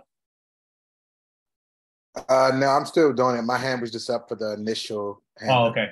Yeah, I got it. All right, cool, Andrew. All right, pretty cool stuff. Um, so I take it that you've had some experience before, a little coding. right? Yeah. All right. Cool. So yeah, um, is is there anything that I that I went over that you didn't uh, experience before? Pretty much all the basics you would say to your fellow classmates. Um, for me, and the the basics. yeah. Yeah. Okay. Cool. Is there anything that you would want to tell them that I didn't go over? That kind of our condensed time, a lot of go over. So. Yeah, it's like Um, the first 12 lessons in Python condensed into one. Um, if anything, just continuing off the if statements, um, you could do if else, just like to continue it if they want other things to happen. Uh, you mean elif? Oh well, I don't use Python, so I use a lot of Yeah, yeah, yeah, yeah, yeah. You're right. In like uh in Java or JavaScript is if else, but in um so like so in Python it's elif. So uh, elif um if here um equals true and and decimal one point five. Let's say print something like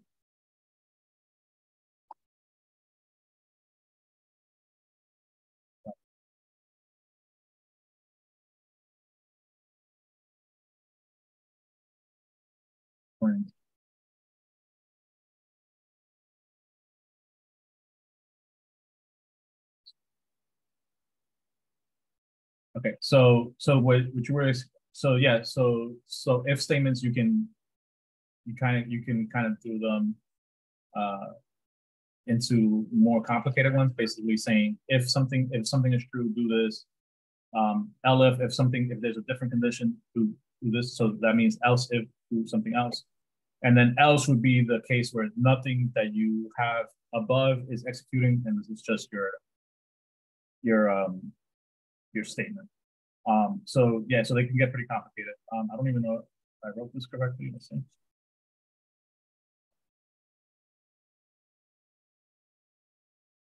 Yeah, so here is zero. Okay, so so here is zero, so it's not true. So the first one is not getting printed, and the second one is not getting printed because true, it's not true. And uh, so while decimal is true and it equals 1.5, the first one is not true. So both of these need to um, be uh, so both of these need to be true in order for the entire um, statement to to to to express.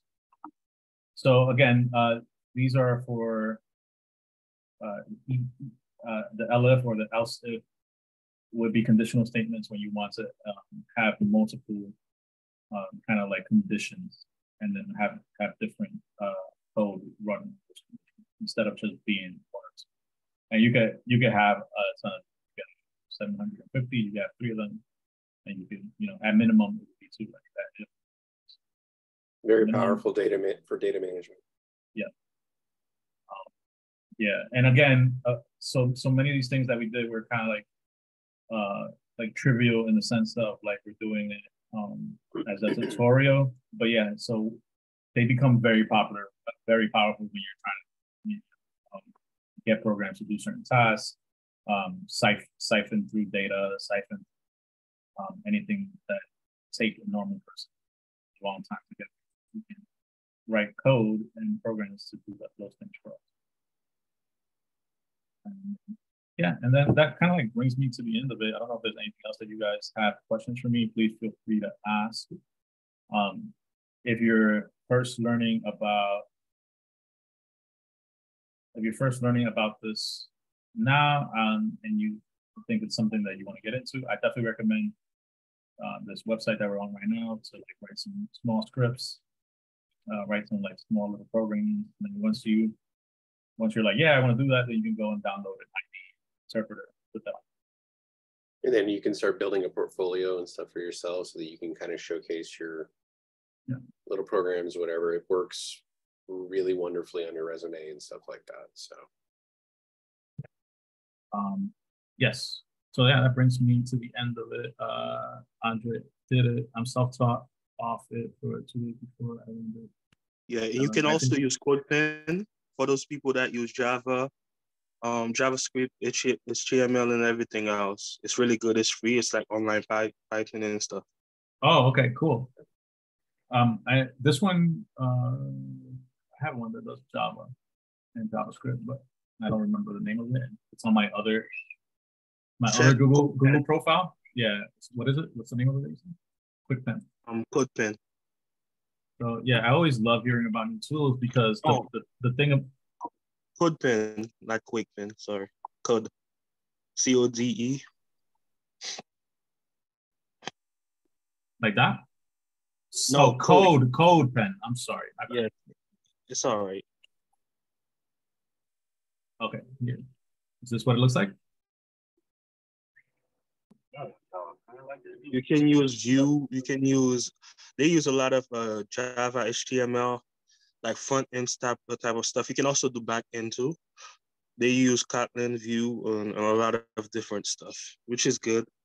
Yeah, awesome. So the so the moral story is there's a lot of different things out there, and um, like I like we said earlier, try try new things out, see what works out for you, which one you're more comfortable with. Um, do some if it's something that you like, maybe something that you can see as being useful to you and your you know your career or for fun. You know, do a little bit more research into it and see where it takes you. So yeah, so um, kind of like tying that back up into the lesson, this kind of like tells us that now we should uh, understand what shell scripts are, the basic of how to write these scripts, the difference between a Windows script, a JavaScript, a Python script, um, and then the use cases for them, and then things to consider like safety and best practice. All right. So if unless you have any questions for me, that is it. And